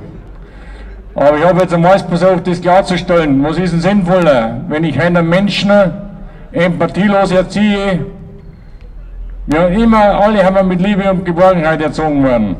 Ja. Wenn ich mit Empathie und Gleichgültigkeit erzogen will, dann wird er irgendwann zum Verbrecher. Ich habe zehn Jahre in der Psychiatrie gearbeitet, ich weiß von was ich rede. Ich habe keine psychische Ausbildung, aber ich habe mit den Leuten gearbeitet. Ich war Arbeitstherapeut, Steinmetzmeister, ich habe ausgebildet drin. Ich war acht Stunden mit den psychisch kranken Leuten zusammen. Die meisten Ursachen haben immer in der Kindheit passiert weil die zu Verbrecher gemacht haben, zu Mördern. Und das können wir nicht zulassen, sowas. Schreit das ein dagegen. Und was ist denn jetzt da äh, schlimmer? Ja, wenn ein Kind Gefahr geht oder in Gefahr erzogen wird, später mal eine psychische Störung zu haben, ja, und die Psychotherapeuten, die haben ausgelastet über ein Jahr. Oder wenn ich das Kind ein bisschen ins Zwiespalt bringe, weil es einfach in der Schule dann gewisse Repressalien kriegt vielleicht auch für die anderen Kinder mobbt wird. Ich finde, das ist noch lange nicht so schlimm, als wenn ich später Vorwürfe machen will, weil ich einen Menschen erzogen habe, der einen psychischen Schaden hat, weil ich eigentlich schuld bin als Erziehungsberechtigter. Ich bin ja verantwortlich für mein Kind. Ich habe die Aufgabe, das Kind mit Liebe und Geborgenheit zu erzählen, äh, erziehen. Also macht es da gewisse Abwägungen und letztlich das ein bisschen durch den Kopf gehen, was sinnvoller ist. So, dann das gewisse äh, Atteste akzeptieren. Ich muss meine Krankheiten nicht jeden auf die Nase binden. Und wir erleben es dauernd, die wir befreit haben, dass wir massiv angegangen werden und teilweise aus Geschäften rausgeschmissen werden. Manchmal mit Bosheit, aber manchmal und sehr oft aus Unwissenheit. Anscheinend haben die Einzelhandelsverbände und die Gastronomieverbände das so raffiniert geschrieben, dass bei den Leuten, die Geschäfte haben, der Eindruck entsteht, sie dürfen niemand bedienen oder abkassieren, der keine Maske trägt. Wir haben extra eine Anfrage gemacht beim Innenministerium. Kein Wirt, kein Händler ist verpflichtet, einen Attest vorzeigen zu lassen. Hat auch gar nicht das Recht, das ist eine hoheitliche Aufgabe. Das heißt, nur die Polizei oder das Ordnungsamt darf solche Arbeiten oder Aufgaben übernehmen. Also verweigert es. Und an die Leute, die meinen, sie müssten das oder sie dürften deswegen keinen Kunden bedienen, ein Irrtum. Ihr macht euch auch nicht strafbar, weil ihr das gar nicht gedürft vom Gesetz her. Ihr macht euch strafbar, wenn ihr das verlangt. Das ist Nötigung.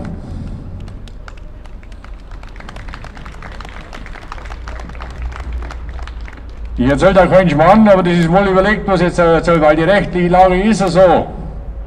Nur die Polizisten war daran, um das Recht, euer Attest zu kontrollieren. Kein Kaufmann und niemand auf dieser Welt. Und ich finde das sowas war schäbig, was da manchmal auch läuft. Ich drehe den Spieß jetzt immer weiter um und den Spieß möchte ich auch umdrehen. Ja, und dem folgen, was ich euch jetzt so sage. Ich bin in ein Geschäft reingehe und hose nicht auf, meistens setze ich es auf. Weil da kommt es auch manchmal vor, dass ich es vergiss. Ja, also Masken. Ich denke schon daran, dass ich eine aufsetzen muss. Und dann da alle drin, wir Masken aufhaben. Da fange ich an zu schreien, geht's weg, geht's weg! Ich kann keine Masken aufsetzen, steckt mir auch nicht da. Jetzt müsst ihr mal schauen, ob ich das zurückgeschickt dann verkriegen sie gleich in sämtliche Löcher. Wenn du Spieß umdrehen, das funktioniert leicht, gab's was. Oder wenn du mal von netto drin, da war gelegentlich mal, wenn da war so von jeder Seite herkommen in die Gegend, kriege ich so einen künstlichen Hustenanfall, reißen wir Masken oder und fangen Husten an. Da geht der Staubwolke in jede Richtung raus. Und so hauen die Leute ab. Das ist jetzt der Übergang zum nächsten Thema. Ja? Ich verurteile die Leute nicht. Ja?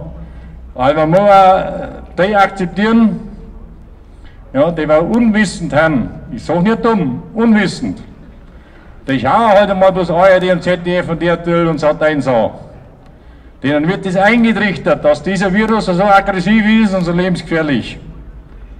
Die glauben das. Ich bin den Leuten nicht beißt, was ist, wenn wir uns zur Aufgabe machen, diese Leute richtig zu informieren und deswegen mache ich diese Informationsveranstaltungen, um euch Zeug mitzugeben, auf diese Leute einzuwirken, ja, ohne Streit. Weil es wird so viel umeinander gestritten, aber überhaupt nicht mehr sachlich gesprochen und diskutiert. Ich habe da in der Tischnerei der Gruppe einen gehabt, der hat ein wenig lauter hergeredet. Da habe ich, da komme ich nachher drauf, einen Satz geschrieben und da soll er mir eine Antwort drauf geben. Ich habe den seitdem nicht mehr gesehen in der Gruppe, weil er mir keine Antwort geben darauf kann. Aber ich sag's dann nochmal, mir ist bloß gerade in den Kopf gekommen. Also, das ist mit den Masken so handhaben, weist die Leute darauf hin, die Geschäftsleute fangt keinen Streit an, sondern der bleibt sachlich. Am besten ist, ihr letztes, brauchst was eingeben, Maskenpflicht, Kontrolle, Gastronom, Google kommen x so Dinge, weil das drinnen steht. Leute euch das ausdrucken, steckt es euch ein. Wenn der Geschäftsinhaber das nicht glaubt, dass er, nicht, dass er sich nicht strafbar macht, gibt es das, wenn er sich überzeugt hat davon, zu 95 Prozent habe ich bis jetzt immer mehr Ruhe gehabt. Die haben wirklich in den Glauben, das ist nicht immer Boshaftigkeit, sondern glauben wirklich, sie meinen horrende Strafen zahlen bis 5000 Euro. Die glauben das. In Wirklichkeit ist es so, die haben ihre Angestellten gegenüber verpflichtet, dass sie Masken aufsetzen, ja. Aber nicht euch Kunden gegenüber. Also die Kunden haben nicht verpflichtet. Der kann nicht bestraft werden. Das muss man mal ein Ende nehmen, das ganze Ding. Ja, auf Zeit schauen, ja, eine Viertelstunde haben wir, äh, dreiviertel Stunde haben wir noch, bis halb fünf haben wir. Ich halte noch so viel. Was ist Querdenken überhaupt? Kann keiner was anfangen damit. Und jeder, auch der hinter die Barrikaden stehen kann genauso Querdenken. Der Mensch ist und bleibt der Querdenker. Weil wenn er das nämlich nicht ist, dann ist er strotzdumm. Dann begreift er was nicht. Und jetzt erkläre ich, was Querdenken heißt und ist. Wenn ich jetzt einen Autohändler gehe und ein Auto kaufe mit 200 PS und der sagt mir, das braucht 4 Liter Sprit, dann fange ich zuerst einmal zum Schwunzeln an. Denkt man, du Depp, du Blöder. Aber der kann mir das schon reden. Ja. Ich würde aber wahrscheinlich den Vertrag nicht unterschreiben. dann gehe ich heim, dann fange ich das recherchieren an. Weil 4 Liter, das glaube ich ganz einfach nicht. Ja. Ja. Dann sehe ich auf einmal, dass unter 7, 8 Liter gar nichts geht, weil kein Auto gibt es, mit 200 PS bloß 4 Liter braucht. Ja, und damit bist du ein geborener Querdenker, weil du nicht alles glaubst, was er erzählt wird. Das ist so.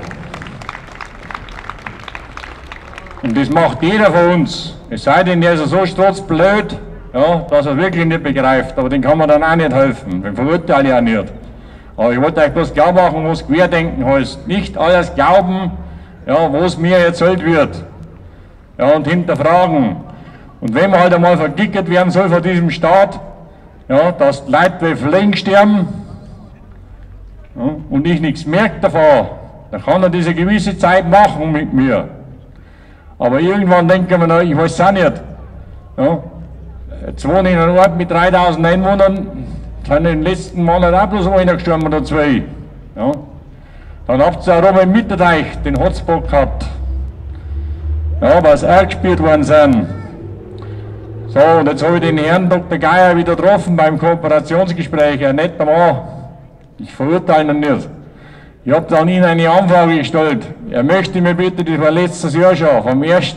Januar bis 31. April die Todeszahlen liefern Wölfe, das verstorben haben, einen Wohnsitz im Landkreis Tirschenreuth gehabt haben. Ich habe nichts gehört. Da kam eine Mail, diese Zahlen liegen uns leider nicht vor. Ich halt auf lachen. Weil tagtäglich muss das Gesundheitsamt die Zahlen, und das hat der Bürgermeister, Oberbürgermeister Jens Mayer von Wein bestätigt, ans RKI liefern. Deshalb habe ich ihn auch einen Lügner geholfen. Weil ich sie schriftlich vom Gesundheitsamt habe, dass die die Zahlen nicht haben. Also irgendjemand lügt. Ich habe gesagt, ich entschuldige mich, wenn ich die Zahlen kriege vom Gesundheitsamt, weil dann hat der Jens Meyer nicht gelogen. Aber mir liegt nach wie vor der schwarze, weiße Beleg da, dass die Zahlen dem Gesundheitsamt nicht vorliegen. So, und jetzt nur was. Ich habe gesagt, ich bin Steinmetzmeister. So traurig es ist, aber ich lebe auch vom Tod. Also habe vom Tod gelebt, weil mir Grabsteine entfernen müssen. Dann habe ich die ganzen Kollegen angerufen. Wie schaut bei euch aus? Hat ihr verstärkt? Auch die da rum, bei euch. Wir kennen uns alle. Weil so viel Steinmetz gibt es nicht. Keinen Überbedarf. Alles im normalen Bereich. Die Totengräber genauso. Ja, kenne ich auch jeden persönlich fast. Wir sitzen daheim und warten, dass einer stirbt, es geheißen. Das ist halt denen der Spruch so. Ja. Also, und was schreibt der, der Leustädter Landrat auf seine Homepage-Seite in Facebook? Er hätte Kühlcontainer horten müssen, weil die Bestattungsunternehmer nicht mehr hinterhergekommen sind, die Toten abzutransportieren. Lachhaft. Lachhaft ist sowas, Leute. Ja. So was schreibt der Landrat auf seine Homepage. Und ihr wisst selber darum, haben so viele Leute gestorben oder nicht? Nein, weil ich habe die Zahlen vorliegen. Und ich habe damals bewusst danach gefragt, weil ich kann euch auswendig die Zahl sagen, in der Stadt Weiden und Landkreis Neustadt sterben am Tag 4,7 Leute. Das ist die Zahl, die kannst du rausfinden, wenn du das bayerische äh, Statistisches Amt gehst. Ja, da ist drin, wie viel das an jedem Tag in welcher Stadt und in jedem Landkreis sterben. Und da wollte ich vergleichen. Und die Zahlen haben wir eben nicht gekriegt. Hätte man vergleichen können. Da kannst du also leider immer erst immer ein Jahr drauf rausholen. Ja, da ist ein Statistischen Bundesamt. Aber das Gesundheitsamt hat die Zahlen liegen. Jetzt habe ich eine zweite Anfrage gemacht, vor wenigen Wochen, am Gesundheitsamt beim Dr. Geier. Weil eben der Hotspot da Roma so hoch ist, dass ich zahlen möchte, ich habe da aufgliedert. Jetzt ist mir leider zu seinen Ungunsten über den Weg gerannt. Ich habe seine Verzweiflung aus den Augen gesehen. Er hat dann an mir vorbeigemeint, dann habe ich gesagt, äh, haben Sie nicht dazu gekommen, dass wir E-Mail beantworten. Oh, ach nein, nein, äh, habe ich gesagt, soll ich das nochmal schicken? Ja, machen Sie das bitte. Das war das einzige Gespräch. Ich wollte den Mann nicht in Nöten bringen, weil ich weiß, dass er Order hat, von oben nichts rauszugeben. Aber Leute, ihr werdet beschissen und belogen darum. Weil der Inzidenzwert zustande kommt, ich zweifle den an und ich bezeichne diesen als Lüge. Legt mal Zahlen vor, die ich nachvollziehen kann, dann kriegt ihr auch eine Entschuldigung von mir. Aber wenn ihr das nicht macht, glaube ich euch nichts mehr. Weiß nach wie vor nicht, der Grenzgänger, ja, der war durchfahren, war auf Schwandorf runterfahren ja, und positiv getestet werden. Werden die bei euch mit soldoniert? Solche Fragen habe ich gestellt, ich kriege keine Antwort drauf. Aber wenn Sie bei euch da dazu werden, dann ist es so logisch, warum das der Inzidenzwert so hoch ist. Dann gibt es die zweite Möglichkeit noch. Ginning Nordoberpfalz, bleibt die Firma schlechthin, kann ich mit gutem Gewissen sagen. Stadt Weiden hat 25 Millionen Zuschuss gemein, vorletztes oder vorletztes Jahr. Ja, der Landkreis 25 Millionen, sie vor der Pleite gestanden sind. Gab es einen Geschäftsführerwechsel und so weiter, will ich nicht näher ergründen. Bloß was ihr weniger wisst, dass die Zuschläge, wenn ein Krankenhaus Corona-Kranke behandelt, ganz massiv sind. Das wisst ihr nicht. Und dass sie ganz massiv sind, wenn sie es angeblich nicht behandeln, das wisst ihr auch nicht. Haben wir nämlich bei den Intensivbetten, es hat bis in November eine Pauschale gegeben, vor 560 Euro für jedes Intensivbett, das freigehalten wurde, weil wir ja so eine große Pandemie haben. Sobald jetzt belegt war, hat es andere Zuschläge gegeben. Da geht es los mit 80 Euro normale Pauschale, 20 Euro das, 25 Euro das, 30 Euro das. Auch eure Hausärzte kassieren massiv ab. Ich traue mir das sagen, weil ich das schwarz auf weiß habe und jeder von euch kann das rausfinden im Internet. Ihr braucht es versuchen. Dauert ein bisschen. Aber die Zahlen sind öffentlich. Jetzt wisst ihr, warum dass die Krankenhäuser so dahinter sind. Ja.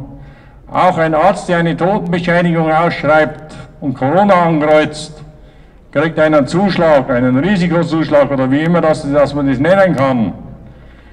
Ich weiß, das Krankenhaus kriegt äh, 100 Euro pro Tag, wenn sich hinterher herausstellt, dass ein Corona-Kranker war. War zumindest nur zum Jahreswechsel so. Wenn wir aber jetzt festlegen, dass es jetzt nur so ist, aber kann durchaus sein. Aber die hat es auf jeden Fall bis 2020 gegeben. Also glaubt den Zahlen auch nicht immer, was im Krankenhaus so rauskommt. Ich kenne genug Krankenschwestern und Krankenpfleger. Aber ich bin da vorsichtig, weil ich keine Pfanne haben will. Weil ich weiß, dass nichts läuft da drin. Alles übertrieben, was geschildert wird. So, dann der Plan der Pandemie. Ich würde jetzt nicht an meinen Vorredner anschließen. Der hat es eigentlich ausführlich erklärt, was dahinter steckt oder dahinter stecken könnte. Sondern ich erzähle einen anderen Plan. Der hat nämlich, ich war ja vor zwei, drei Jahren schon unterwegs als Klimaleugner, bin ja verschrien bis dort hinaus. Also habt ihr da auch die Klimasteuer. Ich habe mein Möglichstes getan, bin von vielen belächelt worden und beleidigt worden. Ich kann es nicht verhindern. Aber um das geht es also nicht, sondern da ist eine Klimaregel aktiviert worden ja, und die Antifa und die haben einen Hype aufgefahren, wie umweltschädlich das CO2 ist und das hat funktioniert. Ja, der hätte beinahe gesagt, der deutsche Bürger ja, ist mitgelaufen und Tausende sind auf die Straße gegangen, um gegen den Klimawandel zu protestieren und heuer hat uns zeigt der Klimawandel, was los ist. Ja haben wir wieder einmal 20, 22 Grad minus gehabt und das über einen gewissen Zeitraum, nicht nur eine Nacht. So, und jetzt mit der Pandemie sollte das gleiche Spiel ablaufen. Die Antifa und der Klimaredel, die haben nachweislich vom Staat bezahlt worden. Wir haben Belege, dass die Antifa, die SPD und die schönen großen Vereine Busabrechnungen haben, weil sie Demonstranten auf Veranstaltungen fahren haben gegen Demonstranten, wenn sich irgendwas gegen was auf der hat. Ich bin drum gestanden in Leipzig mit 30 Mann, 50 Mann war der Antifa gekommen. Da ist mir schon zweierlei geworden, aber da war so, muss ich sagen, da war der Freund und Helferpolizei da und hat sich da dazwischen gestellt dann. Also mir ist nichts passiert. So, jetzt sollte die Antifa ursprünglich wieder diesen bösen, bösen Buben nehmen, übernehmen. Ja, und praktisch Demonstrationen gegen die Pandemie, das war mir Querdenker zu machen, übernehmen. Bloß da waren die Rechten schneller. Es ist ja schlecht zum sagen, was ist rechts. Ich will da keine Partei jetzt nichts, hat nichts mit Parteien, aber es gibt einfach rechte Leute, rechte Flügel, die haben das ruckzuck an sich gerissen. Jetzt waren die in der Zwickmühle. Und da ist der Ballweg geboren worden, der goldene Prinz, und ich bezeichne ihn als goldenen Prinz. Ja, weil der wegen Querdenken ins Leben gerufen hat, stand ich heute wahrscheinlich auch nicht da. Ja, und jetzt nochmal zu Querdenken, was ist Querdenken selber? Querdenken ist eine Bewegung. Es gibt eine feste Struktur, da muss er eine Ordnung. Es darf nicht jeder sagen, ich mache ein Querdenken auf, ja. Also es funktioniert das nicht. Und die Gerüchte, dass der Ballweg mit Querdenken Geld verdient, schlichtweg gelogen. Ja. Wir haben auf eure Spenden und Geschenke darauf angewiesen, sonst kann man das gar nicht finanzieren. Aber er musste die Begriffe schützen lassen, sonst hätte irgendeiner irgendwo eine Querdenkenbewegung mit einem ganz anderen Ziel aufgemacht. Und so darf er den Namen Querdenken nicht benutzen. Das steckt hinter den Gerüchten, weil der Mann ging, dass der Ballweg Millionen verdienen würde. Der hat seine Firma verkauft, ist ein intelligenter Mensch, Und der größte Teil von seinem Vermögen steckt drin in das Querdenken. Das müssen wir auch einmal applaudieren. Der zurück jatschen jetzt.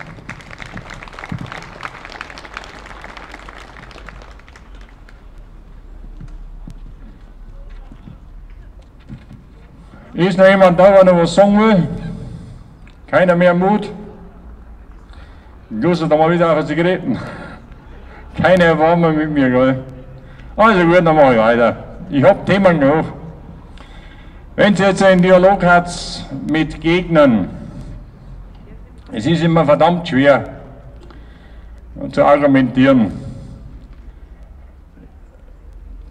Jeder von euch sollte mal in Google 5 Billionen Dollar eingeben. Nur diesen Satz. 5 Billionen Dollar. Am Laptop die erste Meldung, am Tablet oder am Handy die zweite, dritte Meldung. Die G20-Staaten investieren 5 Billionen Dollar in die wirtschaftlichen Folgen der Pandemie, der Corona-Pandemie. Ein feiner Zug, oder? Aber wisst ihr, wann das war? Ja, am 23. März 2020.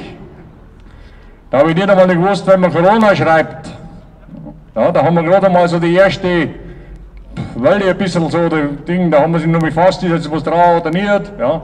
Da haben die schon 5 Billionen Dollar enthängt genommen. Ja, um die Folgen, die wir jetzt erheint haben, dass die Betriebe pleite gingen, ja, abzumildern. Und wisst ihr, da sieht man nämlich, dass das Ding geplant ist. Und die Frage habe ich den einen Herrn da aus dem Landkreis gestellt, der war immer so blöde Kommentare eingeschrieben hat. Er soll mir da geben, eine Antwort geben, ob das geplant ist jetzt oder nicht. Ja, aber ich konnte zum damaligen Zeitpunkt schon wissen, dass ich heute diese Gelder brauche, wenn sie geplant war. Und wisst ihr, was mit den Geldern passiert ist? Weshalb Corona weltweit so aktiv ist? Nicht schlimm, ich sage aktiv. Aber wenn ich die Bilder, ja, wir haben ja Gott sei Dank das Internetzeitalter, dass wir nicht nur die Bilder auf ARD anschauen und ZDF, sondern auch uns selber informieren. Ja, und wenn man mein Kollege, mein Onkelkollege aus Schweden Büttler schickt, ja, dass er drüben im Kaufhaus spazieren geht ohne Masken, ja, dass er im Lokal sitzt mit seiner Frau beim Essen, ja, mir wegen zu ärgern, ja.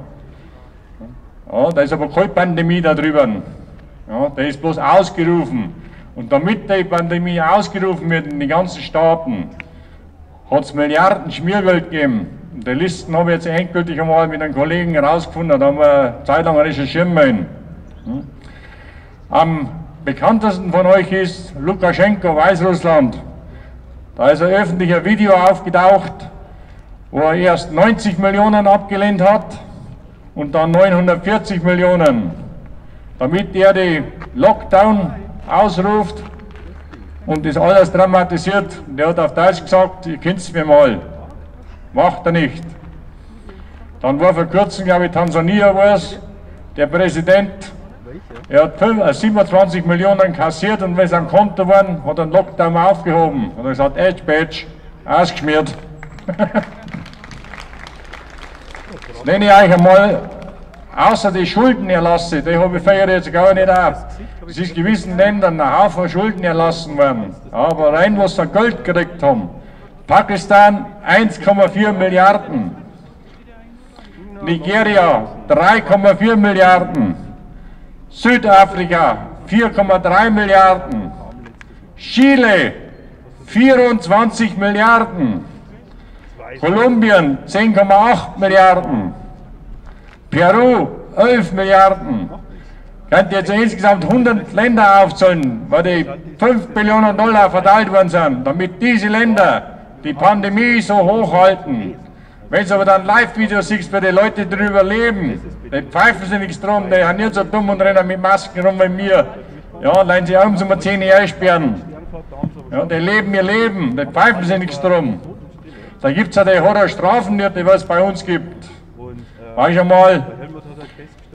Und das ist jetzt ein kleines Problem, die Polizei ein bisschen angreifen. Es liegt teils an der Polizei, weil vielleicht manchmal falsch, ich beurteile also so, falsch agiert wird. Jeder Polizist weiß, der kann gewisse Sachen Augen zudrücken, verwarnen. Wenn wir unbedingt überall gleich eine Meldung machen und eine Strafanzeige machen. Liege in Ermessen von jedem Polizisten selber. Das, was mir liegt, ja, weil das nämlich der Gipfel der Frechheit ist, dass sich ein Landrat mit einem Bürgermeister und noch mit zwei anderen Personen zu einem Jubilar hinstellt und zu dessen Frau und fotografieren lässt. Der Mann Haberkorn, euer Altlandrat, ich kenne ihn auch persönlich nur von früher. Ich habe nämlich früher in Dirschenreuth einmal eine Firma gekauft, das war in den 90er Jahren. Habe da eine Zeit lang herumgearbeitet. Ja, er war mir bekannt, ich habe auch Baustellen gemacht in meiner Selbstständigkeit darum. Ich kenne ihn nur persönlich, ich vergönne ihm das. Aber Gesetz ist Gesetz. Wenn der kleine Bürger bluten muss, dann sollen auch diese hohen Herren sich an die Regeln halten. Und meiner, das ist ja, weil er es jetzt in der Zeitung deklariert hat, ja, es ist ja lapidar, wenn man da mal im Garten steht. Ja, ihr mögt schon getrennt kommen sein und getrennt gratuliert haben. Ja, aber ist es im Minutentakt abgelaufen, dass sie dann zufällig miteinander im Garten gestanden sind für die Momentaufnahme? Das wird doch nur verarschen. Ist doch reine Verarsche, was da drin wird. Sind wir nämlich bei dem Punkt. Genau dieser Mann, dieser Landrat ist verantwortlich dafür, wenn vom Ordnungsamt ihr einen Bußgeldbescheid kriegt. Der kann nämlich zu seinen Angestellten sagen, maßvoll. Der Söder gibt um nur den Rahmen für. Die Ausführung ist die Ordnungsämter. Ja, es gibt da Hühneraugen, wenn man zudrucken kann. Und wenn dieser Landrat nicht zurückgerudert, weil ich weiß, Leute da herum, die haben auch an die Strafen gekriegt für Nichtigkeiten. In hier Schaudrunden haben es drei Arbeiter, die sich gegenseitig geholfen haben auf der Baustelle, haben eine Anzeige gekriegt, weil sie miteinander gearbeitet haben. War privat, ist verboten, war es Arbeit gewesen, war es erlaubt gewesen. Wenn ich sowas hergeschrieben der da hat es mein Herz zurückgeleitet. Ja. Und diese Herren stellen sich da in den Garten ein und lassen sich nur fotografieren. Eine Frechheit sind desgleichen. Ich muss ganz ehrlich sagen, mein, der Hohn kann man Bürger gar nicht über die überbringen. Braucht ihr klatschen, meiner Herz nicht dran, weil dran bin ich jetzt dann, weil ich das so. Und das nehme ich auf mich. Weil sowas ärgert mich, ja. Verstehst du, was ich Strafverfahren am Hals habe? Das könnt ihr euch gar nicht vorstellen. Ich bin Schwerverbrecher. Ja. Ich war in Wein, heute eine große Demo veranstaltet. Ja, da war ich ohne Maske auf der Bühne. Nur ausschließlich auf der Bühne. Sonst haben wir immer unten an alles gehalten. Hab dreimal jemanden symbolisch umarmt, aus Protest, weil ich das Zeichen protestieren da. Ja. Bin drei Minuten in einer Reihe mit Leuten gestanden. Habe einen Strafbefehl über 90 Tagessätze, 3600 Euro gekriegt. Zu Recht. Hoffentlich bist du nicht einmal derjenige, dem was auch so geht. Der war hinter mir, der was das geschrien hat. Anscheinend hast du das alles viel getrunken, weil du Mut hast. Wenn du Mut hast, dann gehst du auf ja, und redest da rum. Du darfst Bullshit derzeit so bezeichnen, kein Problem damit. Mach ich, danke. Aber wenn es mal einer, der was was sagen darf, ist das schon Honorar wert. Gebt einen Applaus. Aber ansonsten stehen sie näher im Hintergrund bei Finstern, den Autoreifen stechen und wo ich nicht weiterreden, was mir schon alles passiert ist. In Leipzig drum haben die linken Antifa ja, ein Bus, ein Bus mit Steinen beworfen, weil Menschen drin gehockt sind. Ja, halt euch Dinge mal vor Augen. Diese Partei verehrt sie, diese Anhänger. Lang am Kopf. Jetzt leihen wir das Thema, weil sonst Autos aus.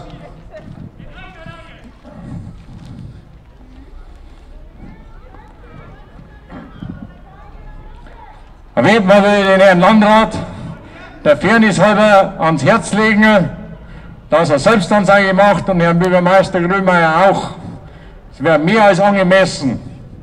Und ich bitte dann den Beamten, die Anweisungen von seinem Landrat Folge zu leisten, mit voller Härte, weil das Gesetz verlangt, durchzugreifen und den Bußgeldbescheid dementsprechend anzusetzen. Oder die Herren gern sie freiwillig bereit, an irgendeinem Verein gemeinnützigen Verein eine Spende zu machen, dann kann man sagen, dann sind wir drüber weg, oder nicht? Gut. So, da wollte eine Rednerin, Rednerin, wollte noch was sagen. Ich brauche dann mal wieder eine Pause. Ist der noch da? Nicht, dann machen wir noch mal eine kurze Pause und dann mache ich mal noch kurz weiter.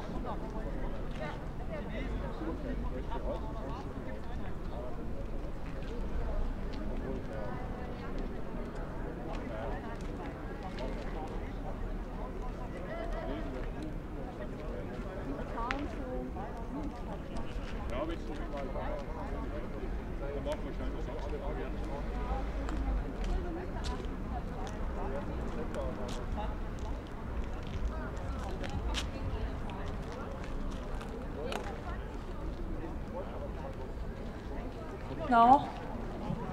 Ganz gut. Ja, hallo. Kommt nun mal eine neue Stimme. Ich darf gern einfach meine Erfahrungen euch mitteilen. Ich weiß nicht, hört ihr das gut oder eher so? Okay. Ich bin Heilpraktikerin und das bin ich schon seit über 20 Jahren und ich darf euch einfach gerne mal meine Erfahrungen, die ich in der ganzen Krise gemacht habe, ein wenig mitteilen. Ohne zu werten, einfach nur das, was ich beobachten konnte und kann. Vorgegangen ist es schon im Herbst, bevor Corona überhaupt zur Sprache kam. Da habe ich gemerkt, dass ich bei Viruserkrankungen nichts mehr auf drei kriege. Ich habe einen super Plan, Viren, egal wie die heißen, habe ich immer ganz einfach weggekriegt. Biologisch. Also ich arbeite viel biologisch. Da ist ganz viel dabei, was die Natur so hergibt. Und dann habe ich schon gewundert, Mensch, was ist denn los? Was sind denn für Viren unterwegs, weil nichts mehr hilft? Also ich bin der Meinung, dass Corona schon im Herbst da war. Dann kam die Krise und der Corona, den gibt es also schon, weil viele ja sagen, den gibt es nicht, doch, den gibt es schon. Und was macht er? Ich kann nur meine Meinung sagen, ich habe keinen Anspruch auf Vollständigkeit oder Wahrheit, das ist nur meine Erfahrung. Der Virus geht durch durchs System und da, wo man einen Schwachpunkt hat, da macht er ihn richtig nieder. Und das Beste, was man machen kann, und das gilt für alle Keime, Keime sind normalerweise, ähm, ich suche jetzt mal Mikroben, die mit ganz wenig Sauerstoff leben können. Da geht es jetzt um den Blutsauerstoff, aber ich würde es auch nicht ausführen, das ginge zu weit. Aber ein gutes Immunsystem hat automatisch zur Folge, dass wir genügend Sauerstoff im Blut haben und auch die Zellen optimal funktionieren. Man hört nichts von einem guten Immunsystem. Man hört nichts davon, weil wir denn unser Immunsystem stärken können. Und das ist aber meine Arbeit seit über 20 Jahren und so funktioniert es auch. Es kann ein Keim bloß andocken, wenn das Immunsystem schlecht ist. Und da muss man einfach ansetzen. Und wir sind, ich sage jetzt mal biologisch gesehen, ein Pulk an Mikroorganismen. Und wir müssen einfach schauen, dass unsere Mikroorganismenwelt in Ordnung ist. Die Maßnahmen sind meiner Meinung nach hm, zum Teil gerechtfertigt. Die Maske hilft super gegen Bakterien. Also ihr werdet euch jetzt weniger Streptokokken und so einen Scheiß holen. Aber Viren stecken sich anders an. Viren gängen ganz viel über Stress, über Angst. Und ich kenne etliche Leute, die sagen, ich bin mit niemandem in Kontakt gekommen. Wie konnte ich das kriegen? Und andere wieder sind in einer Familie, zwar die kommst, zwar haben es nicht. Warum ist das so? Das liegt einfach am Immunsystem oder auch an unserer inneren Stärke. Und es gibt schon Möglichkeiten, deren biologisch so zu behandeln, auch die Spätfolgen, dass es wieder alles ins Lot kommt. Was ich aber beobachte in der Praxis, Kinder, die völlig neben die Show sind, die einfach überhaupt nicht mehr klarkommen mit dem, was momentan abläuft. Die Kontakte fehlen. Ich sage immer, wenn ich, wenn ich niemand mehr umarmen darf, dann ist der Sinn in meinem Leben einfach nicht mehr gegeben. Und das trächten mir die Kinder jetzt auch. Jede Berührung ist einfach nur äh, todbringend, krankmachend, was auch immer. Das ist so furchtbar, was wir den Kindern antun alte Menschen in die Altenheime, die können sie halt nicht wehren, die haben keine laute Stimme. Aber es ist furchtbar. Und auch Mütter sind ganz viel bei mir, die da sitzen und weinen und sagen, wir halten es nicht mehr aus, wir haben Doppelbelastung, wir haben Beruf, wir haben Homeschooling, wir hocken ja nur aufeinander. Ich weiß nicht mehr, weil ich überhaupt die Familie und die Beziehung auf drei kriegen soll. Das sind die Umstände, die uns krank machen, die uns wirklich krank machen.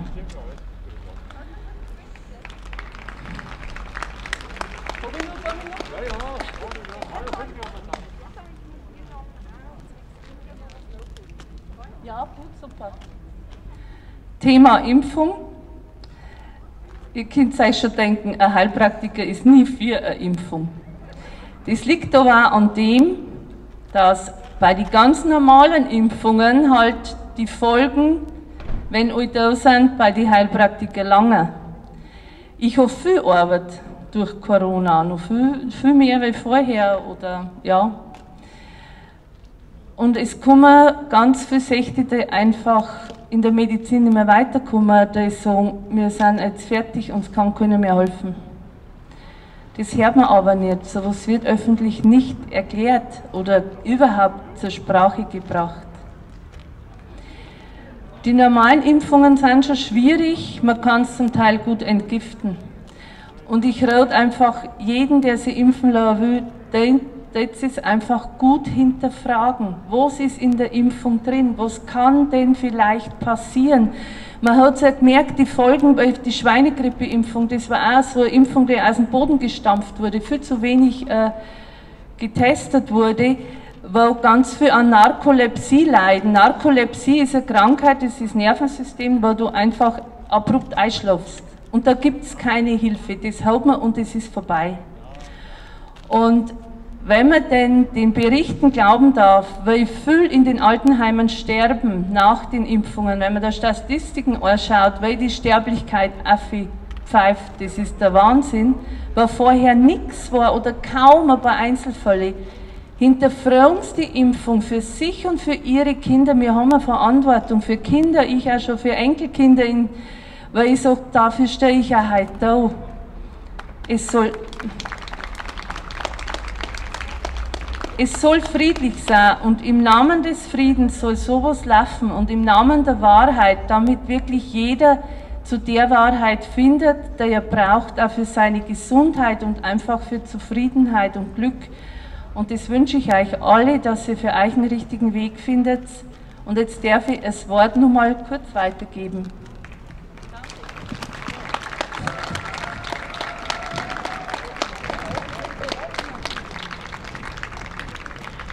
Ja, ich möchte nochmal äh, Ergänzung dazu geben zu der Bertha. Ich bin die Marion Schaumberger aus dem Hotspot Mitterteich.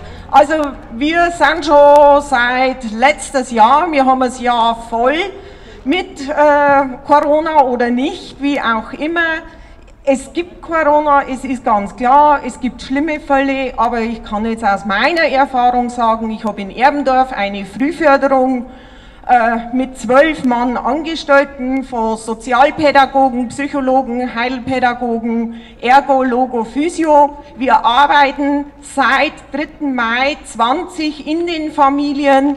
Wir sind Corona frei durch Maßnahmen. Wir haben wirklich darauf geachtet. Aber wir können die Familien, so wie sie momentan dastehen, nicht im Regen stehen lassen. Die Kinder sind psychisch am Ende, die Mütter sind psychisch am Ende. Also wir erleben das wirklich tagtäglich und es muss einfach irgendwann einmal was passieren. Ich weiß nicht, ob das der Söder merkt mit seiner Crew, dass es so nicht weitergeht in den Familien. Die sind einfach am Ende. Und die Polizei weiß das mit Sicherheit, weil wir sehen tagtäglich die Gewalt, was los ist, der Missbrauch in den Familien. Es muss was passieren. Danke.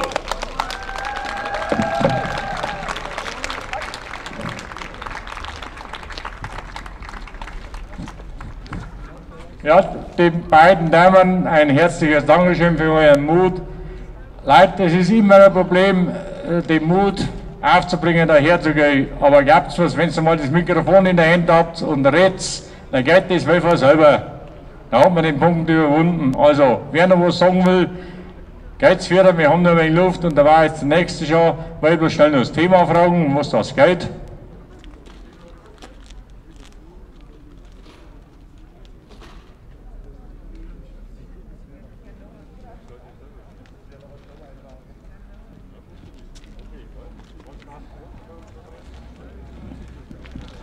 Hallo, also mein Name ist Klaus Krauthahn. Ähm, die zwei Redner vor mir haben jetzt wirklich ein bisschen Mut gemacht, auch was zum sagen. Ich habe es in der Zeitung, also den Ausschnitt gelesen oder beziehungsweise über WhatsApp gekriegt, dass heute das da oben stattfindet. Ich bin auch vergangen, 100 Leute habe ich, gesehen, habe ich gehört, die haben da sind. Ich war ein bisschen schockiert, ich glaube, es sind schon 100 Polizisten da. Und äh, die haben jetzt wirklich ein bisschen äh, animiert, mal ein bisschen was zu erzählen, was ich also in Corona-Zeiten erlebt habe. Also ich bin in einer größeren Firma, wir sind systemrelevant und ähm, ich sage jetzt mal so, ja, da ist zwar Corona da, wir haben auch einen Krisenstab, ähm, ja, und ich sage jetzt mal, wir werden auch geschützt von der Firma und egal wie, aber wenn es dann natürlich um Firma geht, dann ist das wichtig. Ich stehe ja auch dahinter. Ich bin also im August mit vier Arbeitskollegen in die Türkei geschickt worden, weil ja die Bundesregierung gewarnt hat, also soll man nicht fahren. Wir haben einen Auftrag zu erfüllen gehabt. Das ist ein Kunde in der Türkei, ein großer, und es ist natürlich auch das Fortbestehen von meiner Firma, wo ähm, in der Beziehung ähm, vielleicht darunter leidet, wenn der ganze Auftrag nicht erfüllt wird. Es, wir, uns war allen bewusst, wo es auf uns zukommen kann, weil Corona Türkei war ja damals schon irgendwie so in die Medien und auch von der Regierung her die Warnung, also es ist nicht so einfach.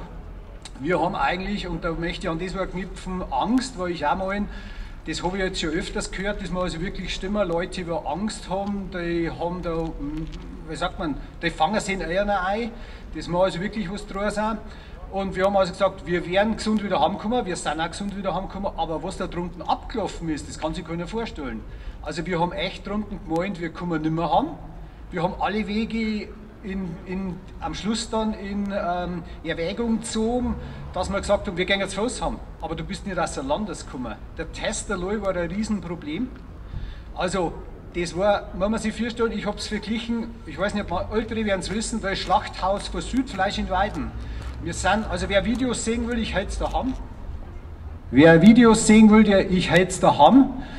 Äh, auf Handy, ich habe damals illegal gefilmt, äh, meine Arbeitskollegen, wenn sie mitgekriegt haben, haben mich wahrscheinlich ähm, haben gekriegt. Es sind Massen gestanden, es war ja Urlaubszeit. Äh, es sind Massen gestanden, und zwar ohne Abstand, ohne Masken. Wir haben uns immer ein wenig abseits bewegt, weil wir gesagt haben, also wir wollen ja uns nicht wirklich was einhandeln. Es ist, weil so in einem Schlachthaus ich, oder in einem, einem Ding, einer da gestanden, der hat hunderte Verstäbchen in der Hand gehabt. Das hat er rausgezogen, wenn du dran gekommen bist, Nase, äh, Mund, Nase, ins Rödel rein, der nächste bitte. Ähm, weil ich gesagt habe, also wenn wir bis jetzt unser Corona nicht eingehandelt haben, dann handeln wir es da ein. Also der Abstand überhaupt nicht und auch am Flughafen, weil wir losgeflogen sind in München, ich habe nun niemals so einen leeren Flughafen gesehen. Also die Bilder waren erschreckend, weil ich da hingekommen bin. Äh, ich habe es zu den Arbeitskollegen gesagt, so, schaut mal um. Also der wirtschaftliche Schaden, wer weiß, was Münchner Flughafen für ein Milliardenunternehmen ist. Krass, krass, wirklich krass. Er war leer. Kein Taxi, also normal stehen ja so 15, 20 Taxi da oder auch die Autos an die Reihen, es war leer. Also die Fotos, die ich gemacht habe, das war gigantisch. Der Istanbuler Flughafen war wirklich Mann an Mann gestanden oder Frau an Frau, Person an Person, weil wir haben ein wenig Abstand gehalten, das war krass. Am Münchner Flughafen, weil wir gelandet sind, waren wir mit vier Flugzeugen. In der Warteschleife am Istanbuler Flughafen waren 18. Wir waren der Zweite, der abgeflogen ist. Also in anderen Ländern geht es ganz anders dazu und ich sage jetzt mal so, der überleben das auch. Vor Abstand war überhaupt nichts. Wenn wir abends essen waren, wir haben uns immer geschaut, dass wir so in einer Ecke, wo halt vielleicht drei, vier Tische frei waren, dass wir Platz mehr haben können. Da weil wir ja schon einen gewissen Abstand wollten, weil wir ja aus Deutschland gewohnt sind. Die Türken, die waren zusammengesessen, weil man so halt so gewohnt ist. Das ist ein Gesellschaftsvolk, da gehört ja, ich sage jetzt mal, meiner Meinung, jeder mit jedem verwandt. Und das ist halt eine große Gesellschaft. Aber ich sage jetzt mal so, das gibt es ja auch noch. Das Land müsste schon lange ausgestorben sein, meine Meinung. Und ich sage es, weil auch gerade wer gesagt hat, ob dem Söder das alles bewusst ist, wenn ich da rumschaue, also meine Meinung, ist immer alles meine Meinung. Ich habe keinen Fernseher, weil äh, ich habe keine Zeit zum Fernsehen schauen. Ich habe also nur vielleicht meine Arbeitskollegen, das sind, könnten alles meine Kinder sein, die wollen mich halt ein bisschen informieren. Ich frage oft so, was ist momentan dran, was darf ich, was darf ich nicht. Also ich habe extra nachgelesen, es reicht das, weil es hat Mund- und Nasenbedeckung geheißen. Weiß ich auch noch bloß von meinen Arbeitskollegen, was ist momentan, der wir bis 9 oder 10 essen. Ich glaube momentan in Deutschland bis 10, aber ich weiß nicht ganz genau. Und mir geht es ja wirklich am Wecker, das Ganze, obwohl ich äh, immer wieder sage, ich kriege es nicht, weil ich halt genügend Abstand. Ich darf ja nicht jetzt, weil ich eingespielt bin seit letztem Jahr eigentlich. Ich habe auch viel tschechische ähm, Bekannte, wo ich sage, kennt ihr jemanden, der Corona hat? Die meisten sagen, nö, sie kennen nicht mehr. Sie kennen ein paar, die was angeblich gehabt haben, aber so schlimm kann es da drüben auch nicht sein. Wir haben auch in der Firma Tschechen, aus dem Hotspot in Sokolov, 1246 vor zwei Wochen, bin ich nach Prag auf Montage gefahren. Mit allen von da, also ich bin auch gesund wiedergekommen. Also keine Ahnung, was ich glauben soll oder was nicht. Also ob das noch bloß hochgespült ist, dass die Wirtschaft, also alles meine Meinung, ob die Wirtschaft kaputt gemacht werden soll, ob Deutschland als kleine Volk dann und wer das zahlen soll, keine Ahnung. Also ich bin, ich bin eigentlich die, für mich das größte Problem, wer soll den Schaden zahlen? Weil kein Politiker und auch kein ähm, von denen, äh, so jetzt mal Beamten und so, die werden nicht arbeitslos die haben nicht kein Einkommen mehr. Und da frage ich mich, der Kleine soll es wieder zahlen, also dann Prost Mahlzeit, weil ich bin geschieden und weiß eh nicht, wo ich überleben soll. Und wenn ich den Scheiß dann auch noch mitzahlen soll, obwohl jetzt nach, nach Jahrzehnten der Soli weggefallen ist, weil ich wieder ein paar Euro mehr gehabt habe, dann wird wahrscheinlich jetzt Corona-Steuer kommen oder was. Und dann, ganz ehrlich, Prost Mahlzeit. Und vor allem für die Jungen. Danke.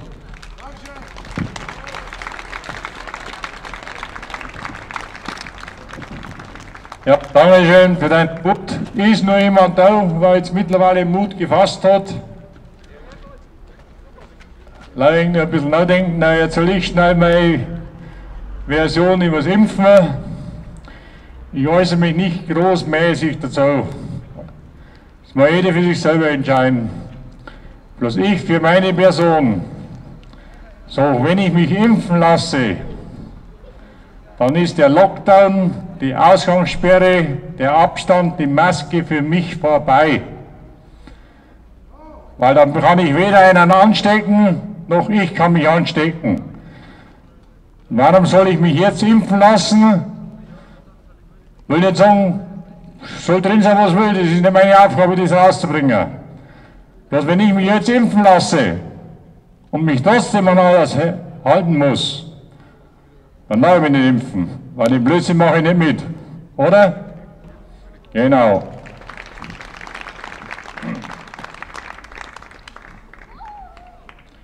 So, jetzt einmal spiele, mache ich mal ein wenig Virologen. Ich habe jetzt auch lauter Kinder vor mir, denen ich möchte erklären, was ist ein Virus.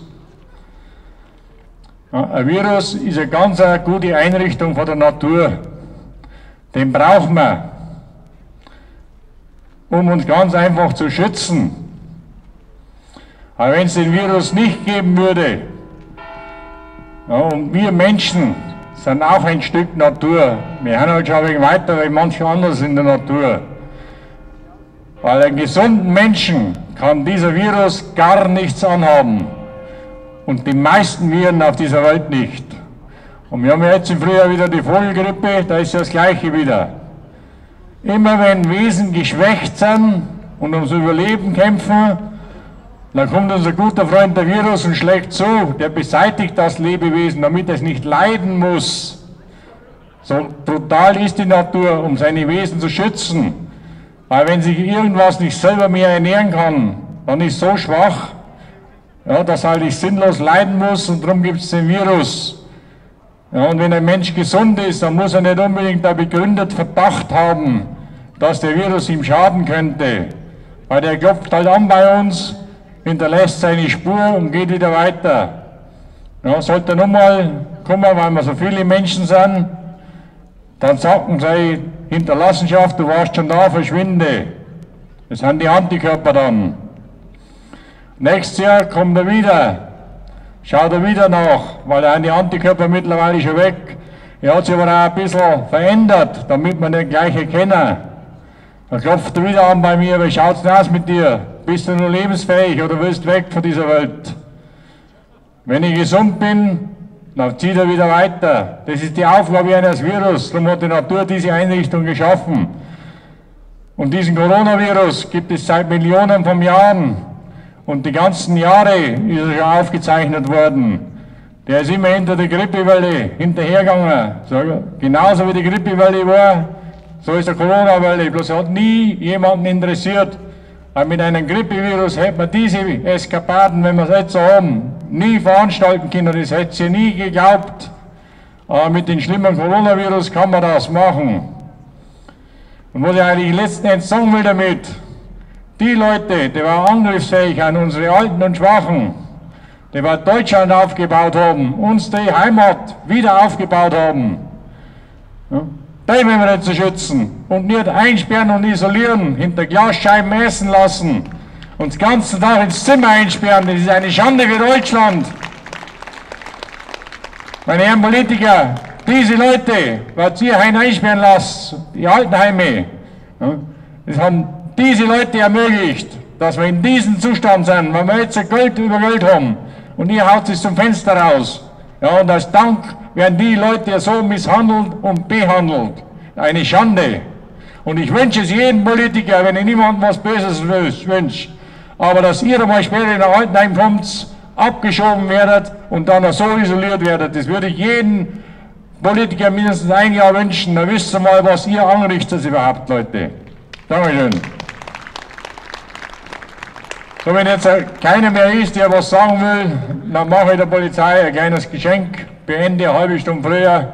Es ist Wochenende. Ich bedanke mich außerordentlich bei der guten Kooperation mit der Polizei. Es war sehr schön, sehr freundlich alles. Ihr gebt jetzt der Polizei einen riesen Applaus noch. So stelle ich mir das nämlich vor, dass es keine Vorkommnisse gibt. Das war hervorragend, super. Dankeschön. Ich erkläre die Versammlung hiermit für beendet. Ab sofort dürft ihr Maske wieder raus, runternehmen, aber bitte Abstand halten und sich möglichst zügig entfernen.